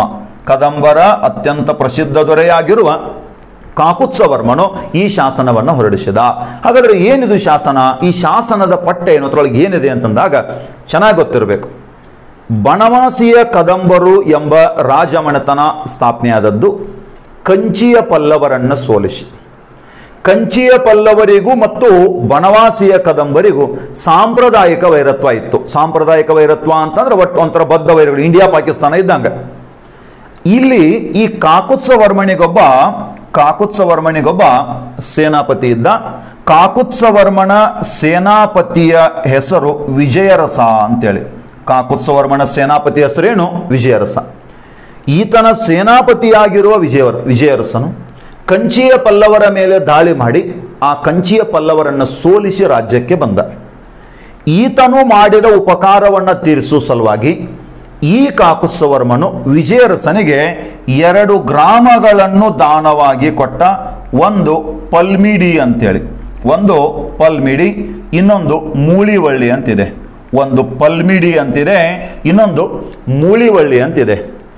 ಈ ವಿಜಯರಸನಿಗೆ ಕಾಕುತ್ಸವರ್ಮನು ಪಲ್ಮಿಡಿ ಮತ್ತು ಮೂಳಿವಳ್ಳಿ ಅಂತ ಎರಡು ಗ್ರಾಮಗಳನ್ನು ಕೊಟ್ಟ. ಈ ಎರಡು ಗ್ರಾಮಗಳನ್ನು ಪಡೆದುಕೊಂಡ, ಪಡೆದುಕೊಂಡಲ್ಲ, ಇವತ್ತಿನ ಕಾಲದಾಗ ಯಾವುದೋ ಒಂದು ಯೋಜನೆ ಬರಬೇಕಾದ್ರೆ, ಏನೋ ಒಂದು ಆದೇಶ ಆಗ್ಬೇಕಂದ್ರೆ ಅದರ ಕಾಗದ ರೂಪದಲ್ಲಿ ಹೊರಡಿಸ್ತಾರೆ. ಅವತ್ತಿನ ಕಾಲದಾಗ ಏನು ಮಾಡ್ತಿದ್ರು? ಯಾವುದೋ ಒಂದು ಆದೇಶವನ್ನು, ಆಜ್ಞೆಯನ್ನು ಕಲ್ಲಿನ ಮೇಲೆ ತಾಮ್ರದ ಹಾಳಿ ಮೇಲೆ ಕೆತ್ತಿದ್ರು. ಈ ಕಾಕುತ್ಸವರ್ಮನು ವಿಜಯರಸನಿಗೆ ಪಲ್ಮಿಡಿ ಮತ್ತು ಮುಳ್ಳಿವಳ್ಳಿ ಅಂತ ಎರಡು ಗ್ರಾಮಗಳನ್ನೇನು ದಾನವಾಗಿ ಕೊಟ್ನೋ ಆತನ ಉಪಕಾರ ತೀರಿಸುವ ಸಲುವಾಗಿ ಅದನ್ನ ಈ ಪಲ್ಮಿಡಿ ಎಂಬಲ್ಲಿ ಒಂದು ಕಲ್ಲಿನ ಮೇಲೆ ಕೆತ್ತಿಸಿದ ಅದೇ ಪಲ್ಮಿಡಿ ಶಾಸನ, ಹಲ್ಮಿಡಿ ಶಾಸನ ಅಂತ ಕರೆಸ್ಕೊಳ್ತದೆ. ಇದೊಂದು ಹಲ್ಮಿಡಿ ಶಾಸನ ಅಂತ ಕರೆಸ್ಕೊಳ್ತಿದ್ದು. ಇನ್ನ ಈ ಒಂದು ಶಾಸನದಲ್ಲಿರುವ ಸಾಲುಗಳ ಸಂಖ್ಯೆ ಅಂತಂದ್ರೆ ಹದಿನಾರು ಸಾಲುಗಳದಾವ. ಈ ಶಾಸನದಲ್ಲಿ ಒಟ್ಟು ಸಾಲುಗಳ ಸಂಖ್ಯೆ ಎಷ್ಟು? ಹದಿನಾರು ಸಾಲುಗಳದಾವ. ಇನ್ನೊಂದು ವಿಶೇಷತೆ ಏನಪ್ಪಾ ಅಂದ್ರೆ ಈ ಶಾಸನದಲ್ಲಿ ಈ ಶಾಸನದ ಮೇಲ್ಭಾಗದಲ್ಲಿ ಸುದರ್ಶನ ಚಕ್ರದ ಚಿತ್ರವು ಕಂಡುಬರ್ತದೆ. ಈ ಶಾಸನದಲ್ಲಿ ಏನು ಕಂಡುಬರ್ತದ? ಸುದರ್ಶನ ಚಕ್ರದ ಚಿತ್ರ. ಎಲ್ಲ ಗೊತ್ತಿದೆ, ಸುದರ್ಶನ ಚಕ್ರವು ಶ್ರೀಕೃಷ್ಣನ ಕೈಯೊಳಗಿರ್ತದ. ಆ ಚಕ್ರದ ಚಿತ್ರವು ಈ ಶಾಸನದ ಮೇಲೆ ಕಂಡುಬರುತ್ತದೆ. ಎಸ್, ಇದಿಷ್ಟು ನಿಮಗೆ ಈ ಶಾಸನದ ಬಗ್ಗೆ ಗೊತ್ತಿರಬೇಕು. ಇನ್ನೊಮ್ಮೆ ಹೇಳ್ತೀನಿ ನಾನು. ಹಲ್ಮಿಡಿ ಶಾಸನ ಹೊರಡಿಸಲಾದ ವರ್ಷ ನಾಲ್ಕುನೂರ ಐವತ್ತು ನಾಲ್ಕುನೂರ ಐವತ್ತು ನೆಕ್ಸ್ಟ್ ಇದು ಎಲ್ಲಿದೆ? ಹಾಸನ ಜಿಲ್ಲೆಯ ಬೇಲೂರು ತಾಲೂಕಿನ ಹಲ್ಮಿಡಿ ಎಂಬ ಹಳ್ಳಿಯಲ್ಲಿದೆ. ಹತ್ತೊಂಬತ್ತು ನೂರ ಮೂವತ್ತಾರೊಳಗೆ ಎಂ ಎಚ್ ಕೃಷ್ಣ ಸಂಶೋಧಿಸಿದರು. ನೆಕ್ಸ್ಟ್ ಗೊತ್ತಿರಲಿ, ಪೂರ್ವದ ಹಳಗನ್ನಡ ಭಾಷೆ ಒಳಗಿದೆ. ನೆನಪಿರಬೇಕು, ಈ ಶಾಸನದ ಲಿಪಿ ಬ್ರಾಹ್ಮಿ ಲಿಪಿ. ಈ ಶಾಸನದ ಲಿಪಿ ಯಾವುದು? ಬ್ರಾಹ್ಮಿ ಲಿಪಿ. ಎಸ್ ಬ್ರಾಹ್ಮಿ ಲಿಪಿ ಇಂಪಾರ್ಟೆಂಟ್ ಇದು. ಬ್ರಾಹ್ಮಿ ಲಿಪಿ ಒಳಗಿದೆ. ಇದೇ ಬ್ರಾಹ್ಮಿ ಲಿಪಿನ ಸ್ವಲ್ಪ ಅಭಿವೃದ್ಧಿ ಹೊಂದಿ ಅದು ಕನ್ನಡ ಆಗ್ಯದ. ಅದಕ್ಕೆ ನಾವು ಬ್ರಾಹ್ಮಿ ಲಿಪಿಯನ್ನ ಕನ್ನಡ ಲಿಪಿಯ ತಾಯಿ ಲಿಪಿ ಅಂತ ಕರಿತೀವಿ. ನೆನಪಿರಲಿ?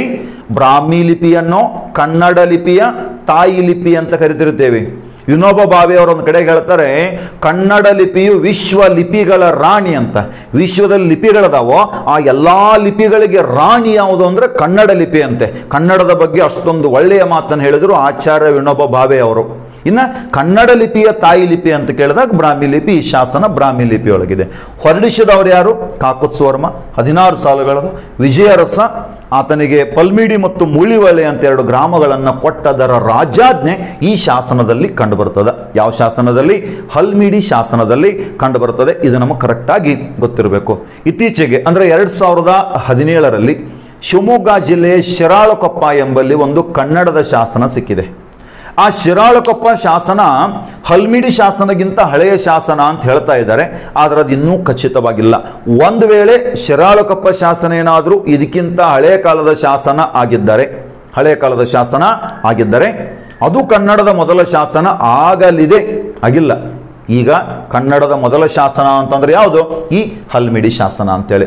ನಾವಿಲ್ಲಿ ಕನ್ನಡದ ಬಗ್ಗೆ ಓದ್ಬೇಕಂತಂದ್ರೆ ನಮಗೆಲ್ಲ ಬಹಳ ಖುಷಿ ಆಗ್ತದೆ. ಕನ್ನಡದ ಬಗ್ಗೆ ದೊಡ್ಡ ದೊಡ್ಡ ಮಾತು ಹೇಳ್ತೀವಿ. ಆದರೆ ಕನ್ನಡಕ್ಕಿಂತ ಹೆಚ್ಚು ತೆಲುಗು, ಹಿಂದಿ ಸಿನಿಮಾಗಳನ್ನು ನೋಡ್ತಿರ್ತೀವಿ. ಅದೆಲ್ಲ ಮಾತು ಬೇರೆ. ಅದಕ್ಕೆ ಹೇಳೋದು ಕನ್ನಡಿಗರು ವಿಶಾಲ ಹೃದಯದವರು ಅಂತೇಳಿ. ಹಿಂಗ ನಾವು ವಿಶಾಲ ಹೃದಯದವರು ಆಗಿಬಿಟ್ರೆ ಈಗೇನು ನಮ್ಮ ಕರ್ನಾಟಕದಾಗ ಆರೂವರೆ ಕೋಟಿ ಜನಸಂಖ್ಯೆ ಇದ್ರೂ ಸಹಿತ ನಾಲ್ಕೂವರೆ ಕೋಟಿ ಜನ ಮಾತ್ರ ಕನ್ನಡ ಮಾತಾಡ್ತಾ ಇದ್ದಾರೆ. ಹಿಂಗೆ ಹೋಗಿಬಿಟ್ರೆ ಅದು ಕಡಿಮೆ ಆಗ್ಬೋದು. ಅದು ಕಡಿಮೆ ಆಗಬಾರ್ದು ಅಂದ್ರೆ ಕನ್ನಡದ ಬಗ್ಗೆ ತಿಳ್ಕೊಳ್ಬೇಕು, ಕನ್ನಡವನ್ನು ಬೆಳೆಸೋದಕ್ಕೆ ಪ್ರಯತ್ನ ಪಡಬೇಕು. ನಾನು ಇದನ್ನ ಹೇಳೋದಕ್ಕೊಂದು ಕಾರಣ ಇದೆ. ಇಲ್ಲೊಂದು ಪಾಯಿಂಟ್ ಹೇಳ್ತೀನಿ ನೆನ್ಪಿಟ್ಕೊಂಡ್ಬಿಡ್ರಿ ಇಲ್ಲೊಬ್ಬ ಕಾಕುತ್ಸವರ್ಮ ಅಂತ ರಾಜ ಇದ್ದಾನೆ ನೋಡ್ರಿ. ಕಾಕುತ್ಸವರ್ಮ ಅಂತ ಇದ್ದಾನೆ ಕಾಕುತ್ಸವರ್ಮ ಇಲ್ಲಿ ನೋಡ್ರಿ ಈ ಮನೆತನದ ಸ್ಥಾಪಕ ಮಯೂರವರ್ಮ ಮಯೂರವರ್ಮ ನಂತರ ಕಂಗವರ್ಮ ಕಂಗವರ್ಮ ನಂತರ ಭಗೀರಥ ವರ್ಮ ಭಗೀರಥ ವರ್ಮ ನಂತರ ರಘುಪತಿ ವರ್ಮ ರಘುಪತಿ ವರ್ಮ ನಂತರ ಈ ಕಾಕುತ್ಸವರ್ಮ ಅಂತ ಬರ್ತಾರೆ. ನೋಡ್ರಿ, ಮಯೂರವರ್ಮ, ಕಂಗವರ್ಮ ಭಗೀರಥ ವರ್ಮ ರಘುಪತಿ ವರ್ಮ ಕಾಕುತ್ಸವರ್ಮ. ಇಲ್ಲಿ ಬರ್ತೀನಿ ನಾನು. ಮೊದಲನೇದವನು ಯಾರು? ಮಯೂರವರ್ಮ. ಇವನ ನಂತರ ಕಂಗವರ್ಮ ಅಂತಿದ್ದಾನೆ. ಇವನ ನಂತರ ಭಗೀರಥ ವರ್ಮ ಅಂತಿದ್ದಾನೆ. ಅವನ ನಂತರ ರಘುಪತಿ ವರ್ಮ ಅಂತಿದ್ದಾರೆ. ಓಕೆ? ಮಯೂರವರ್ಮ ಕಂಗವರ್ಮ ಭಗೀರಥ ವರ್ಮ ರಘುಪತಿ ವರ್ಮ ಅಂತಿದ್ದಾರೆ. ಈ ರಘುಪತಿ ವರ್ಮನ ನಂತರ ಆಡಳಿತಕ್ಕೆ ಬಂದವನು ಆ ರಘುಪತಿ ವರ್ಮನ ತಮ್ಮನಾಗಿರುವ ಕಾಕುತ್ಸ. ಕಾಕುತ್ಸನು ಆಡಳಿತಕ್ಕೆ ಬಂದದ್ದು ಕ್ರಿಸ್ತ ಶಕ ನಾಲ್ಕುನೂರ ಇಪ್ಪತ್ತೈದರಲ್ಲಿ ಕ್ರಿಸ್ತ ಶಕ ನಾಲ್ಕುನೂರ ಇಪ್ಪತ್ತೈದು ಈ ನಾಲ್ಕುನೂರ ಇಪ್ಪತ್ತೈದರವರೆಗೆ ಆತ ಆಡಳಿತಕ್ಕೆ ಬರೋವರೆಗೆ ಮಯೂರ, ಕಂಗ, ಭಗೀರಥ, ರಘುಪತಿ ಇವರಿದ್ರಲ್ಲ, ಸಂಸ್ಕೃತ ಮತ್ತು ಪ್ರಾಕೃತ ಭಾಷೆಯಲ್ಲಿ ಆಡಳಿತ ನಡೆಸ್ತಿದ್ರು. ನೆನಪಿರಲಿ.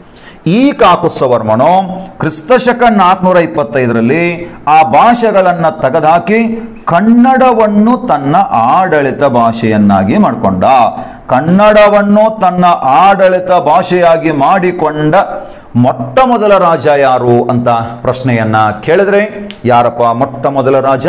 ನೆನಪಿರಬೇಕು, ಈ ಕಾಕುತ್ಸವರ್ಮ ಯಾವಾಗ ನಾಲ್ಕುನೂರ ಇಪ್ಪತ್ತ ಐದರಲ್ಲಿ ಅಂತೇಳಿ ಗೊತ್ತಿರಬೇಕಾಗ್ತದೆ. ಇದು ಕ್ವಶನ್ ನಂಬರ್ ಸಿಕ್ಸ್ ಏಳನೆಯ ಪ್ರಶ್ನೆ, ಬನವಾಸಿಯನ್ನು ತನ್ನ ಕೃತಿಯಲ್ಲಿ ಉಲ್ಲೇಖಿಸಿದ ಗ್ರೀಕ್ ಚರಿತ್ರಕಾರ ಅಂತ ಪ್ರಶ್ನೆ ಇದೆ.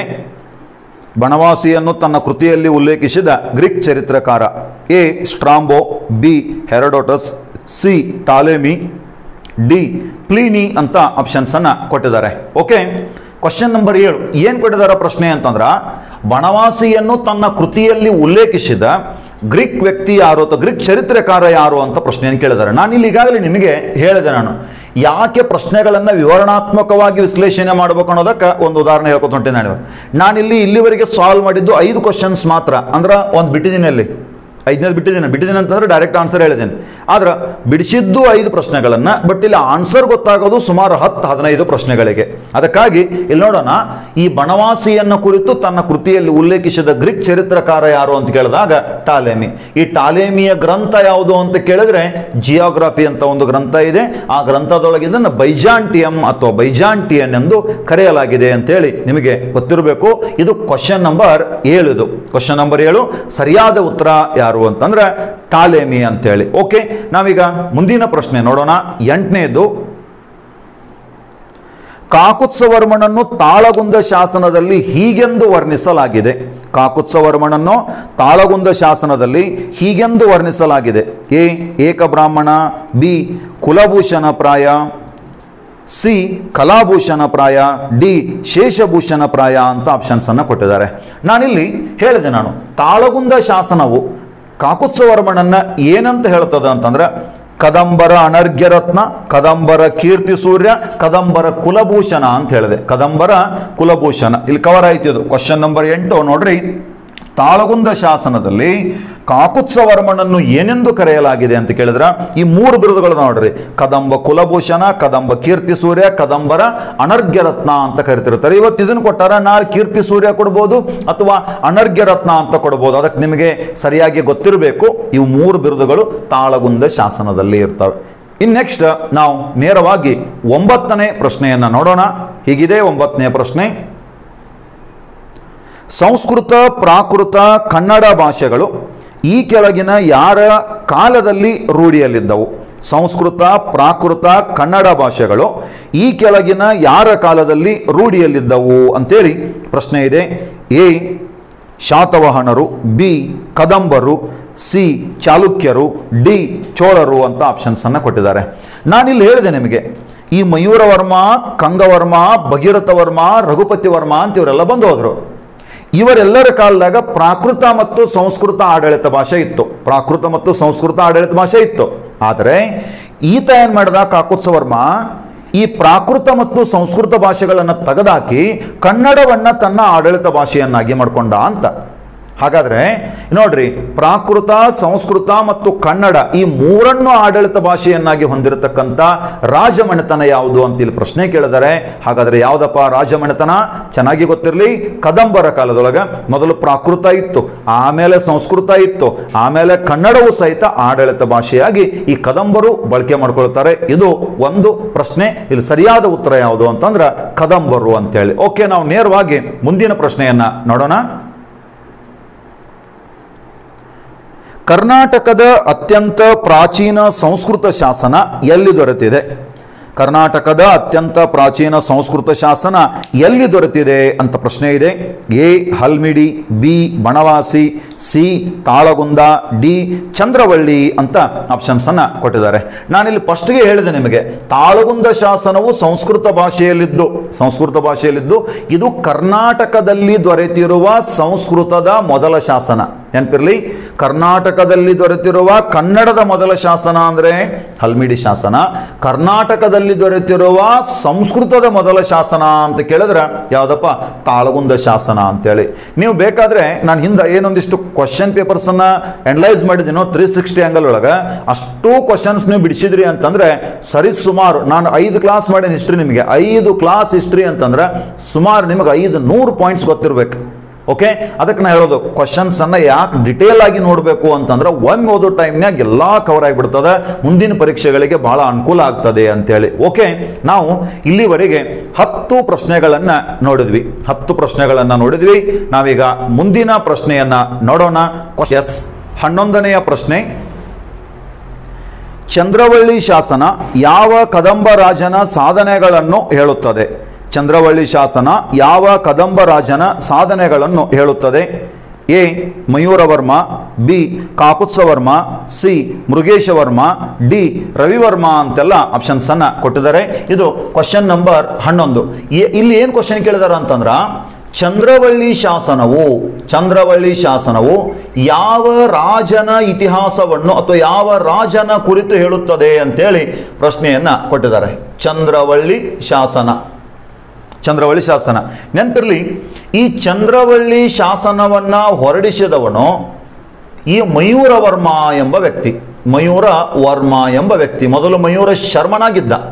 ಮೊದಲೇನಾಗಿದ್ದ? ಮಯೂರ ಶರ್ಮನಾಗಿದ್ದ, ಬ್ರಾಹ್ಮಣನಾಗಿದ್ದ. ನಂತರ ಬ್ರಾಹ್ಮಣ ಪಂಗಡವನ್ನು ಬಿಟ್ಟ ಆತ ಕ್ಷತ್ರಿಯನಾದ, ಕ್ಷತ್ರಿಯನಾಗಿ ಸಾಮ್ರಾಜ್ಯವನ್ನು ಸ್ಥಾಪಿಸಿದ. ಸಾಮ್ರಾಜ್ಯವನ್ನು ಸ್ಥಾಪಿಸಿದ ನಂತರ ಈತ ತನ್ನ ಆಡಳಿತಾವಧಿಯಲ್ಲಿ, ಅಂದರೆ ಈತನ ಆಡಳಿತಾವಧಿ ಗೊತ್ತಿರಬೇಕು ಹಾಗೆ ಕ್ರಿಸ್ತ ಶಕ ಮುನ್ನೂರ ನಲವತ್ತೈದರಿಂದ ಕ್ರಿಸ್ತಶಕ ಮುನ್ನೂರ ಅರವತ್ತು. ಮುನ್ನೂರ ನಲವತ್ತೈದರಿಂದ ಮುನ್ನೂರ ಅರವತ್ತು. ಈ ಮಯೂರವರ್ಮ ಎಂಬ ವ್ಯಕ್ತಿಯು ತನ್ನ ಸಾಧನೆಗಳನ್ನು ಕುರಿತು ಹೊರಡಿಸಿದಂಥ ಒಂದು ಶಾಸನ ಈ ಚಂದ್ರವಳ್ಳಿ ಶಾಸನ. ಚಂದ್ರವಳ್ಳಿ ಶಾಸನ ಇವತ್ತಿರೋದು ಚಿತ್ರದುರ್ಗ ಜಿಲ್ಲೆಯಲ್ಲಿ. ಇದು ಚಿತ್ರದುರ್ಗ ಜಿಲ್ಲೆ ಒಳಗಿದೆ. ಮುಂದೆ ಕೂಡ ಒಂದು ಕ್ವಶನ್ ಇದ್ರ ಬಗ್ಗೆ ಕೇಳ್ತಾರೆ. ಏನಂತ ಕ್ವಶನ್ ಕೇಳ್ತಾರ ಅಂತಂದ್ರ ಚಂದ್ರವಳ್ಳಿ ಶಾಸನವು ಯಾವ ಭಾಷೆಯಲ್ಲಿದೆ ಅಂತ ಪ್ರಶ್ನೆ ಕೇಳ್ತಾರ? ನೆನಪಿರಲಿ, ಈ ಚಂದ್ರವಳ್ಳಿ ಶಾಸನವು ಪ್ರಾಕೃತ ಭಾಷೆಯಲ್ಲಿದೆ. ಇದು ಪ್ರಾಕೃತ ಭಾಷೆಯಲ್ಲಿದೆ. ಚೆನ್ನಾಗಿ ನೆನಪಿರಬೇಕಿದು. ನೋಡ್ರಿ, ಕನ್ನಡದಲ್ಲಿ, ಕರ್ನಾಟಕದಲ್ಲಿ ಸಿಕ್ಕಂತ ಕನ್ನಡದ ಮೊದಲ ಶಾಸನ ಯಾವುದು ಅಂತ ಕೇಳಿದ್ರೆ, ಹಲ್ಮಿಡಿ ಶಾಸನ. ಕರ್ನಾಟಕದಲ್ಲಿ ದೊರೆತ ಸಂಸ್ಕೃತದ ಮೊದಲ ಶಾಸನ ಯಾವುದು ಅಂತ ಕೇಳಿದ್ರೆ, ಯಾವುದಪ್ಪ? ತಾಳಗುಂದ ಶಾಸನ. ಇನ್ನ ಇದು ಏನೈತಲ್ಲ? ಚಂದ್ರವಳ್ಳಿ ಶಾಸನ, ಇದು ಪ್ರಾಕೃತ ಭಾಷೆಯ ಶಾಸನ. ಇದು ಪ್ರಾಕೃತ ಭಾಷೆಯ ಶಾಸನ. ಹಾಗಾದ್ರೆ ಇದು ಏನು ಹೇಳುತ್ತದೆ ಅಂತ ಪ್ರಶ್ನೆ ಕೇಳಿದ್ರೆ, ಒಂದು ನೋಡಿ, ಮೊದಲನೇದೇನಪ್ಪ ಅಂತಂದ್ರೆ, ಈ ಮಯೂರವರ್ಮ ಎಂಬ ರಾಜನು, ಮಯೂರವರ್ಮ ಎಂಬ ರಾಜನು ಚಂದ್ರವಳ್ಳಿಯ ಕೆರೆಯ ಒಡ್ಡನ್ನು ಎತ್ತರಿಸಿದ. ಚಂದ್ರವಳ್ಳಿ ಅಂತ ಏನೈತೋ ಗ್ರಾಮ? ಆ ಚಂದ್ರವಳ್ಳಿಯಲ್ಲೊಂದು ಕೆರೆ ಇತ್ತು. ಆ ಕೆರೆಯ ಒಡ್ಡನ್ನು ಎತ್ತರಿಸಿ ನೀರಾವರಿಗೆ ಅವಕಾಶ ಕಲ್ಪಿಸಿದನಂತೆ ಅಂತ ಈ ಶಾಸನ ಹೇಳಿತು. ನೆನಪಿರಲಿ? ಚಂದ್ರವಳ್ಳಿ ಕೆರೆಯ ಒಡ್ಡನ್ನು ಎತ್ತರಿಸಿದನಂತೆ ಮಯೂರವರ್ಮ? ಅಷ್ಟೇ ಅಲ್ಲದೆ ಅಲ್ಲಿ ನೀರಾವರಿಗೆ ಅನುಕೂಲ ಕಲ್ಪಿಸಿದ. ಇದು ಒಂದು. ಎರಡನೇದೇನಂತಂದ್ರ, ಈ ಮಯೂರವರ್ಮನ ಮೂಲ ಸ್ಥಾನ ಯಾವುದು? ತಾಳಗುಂದ.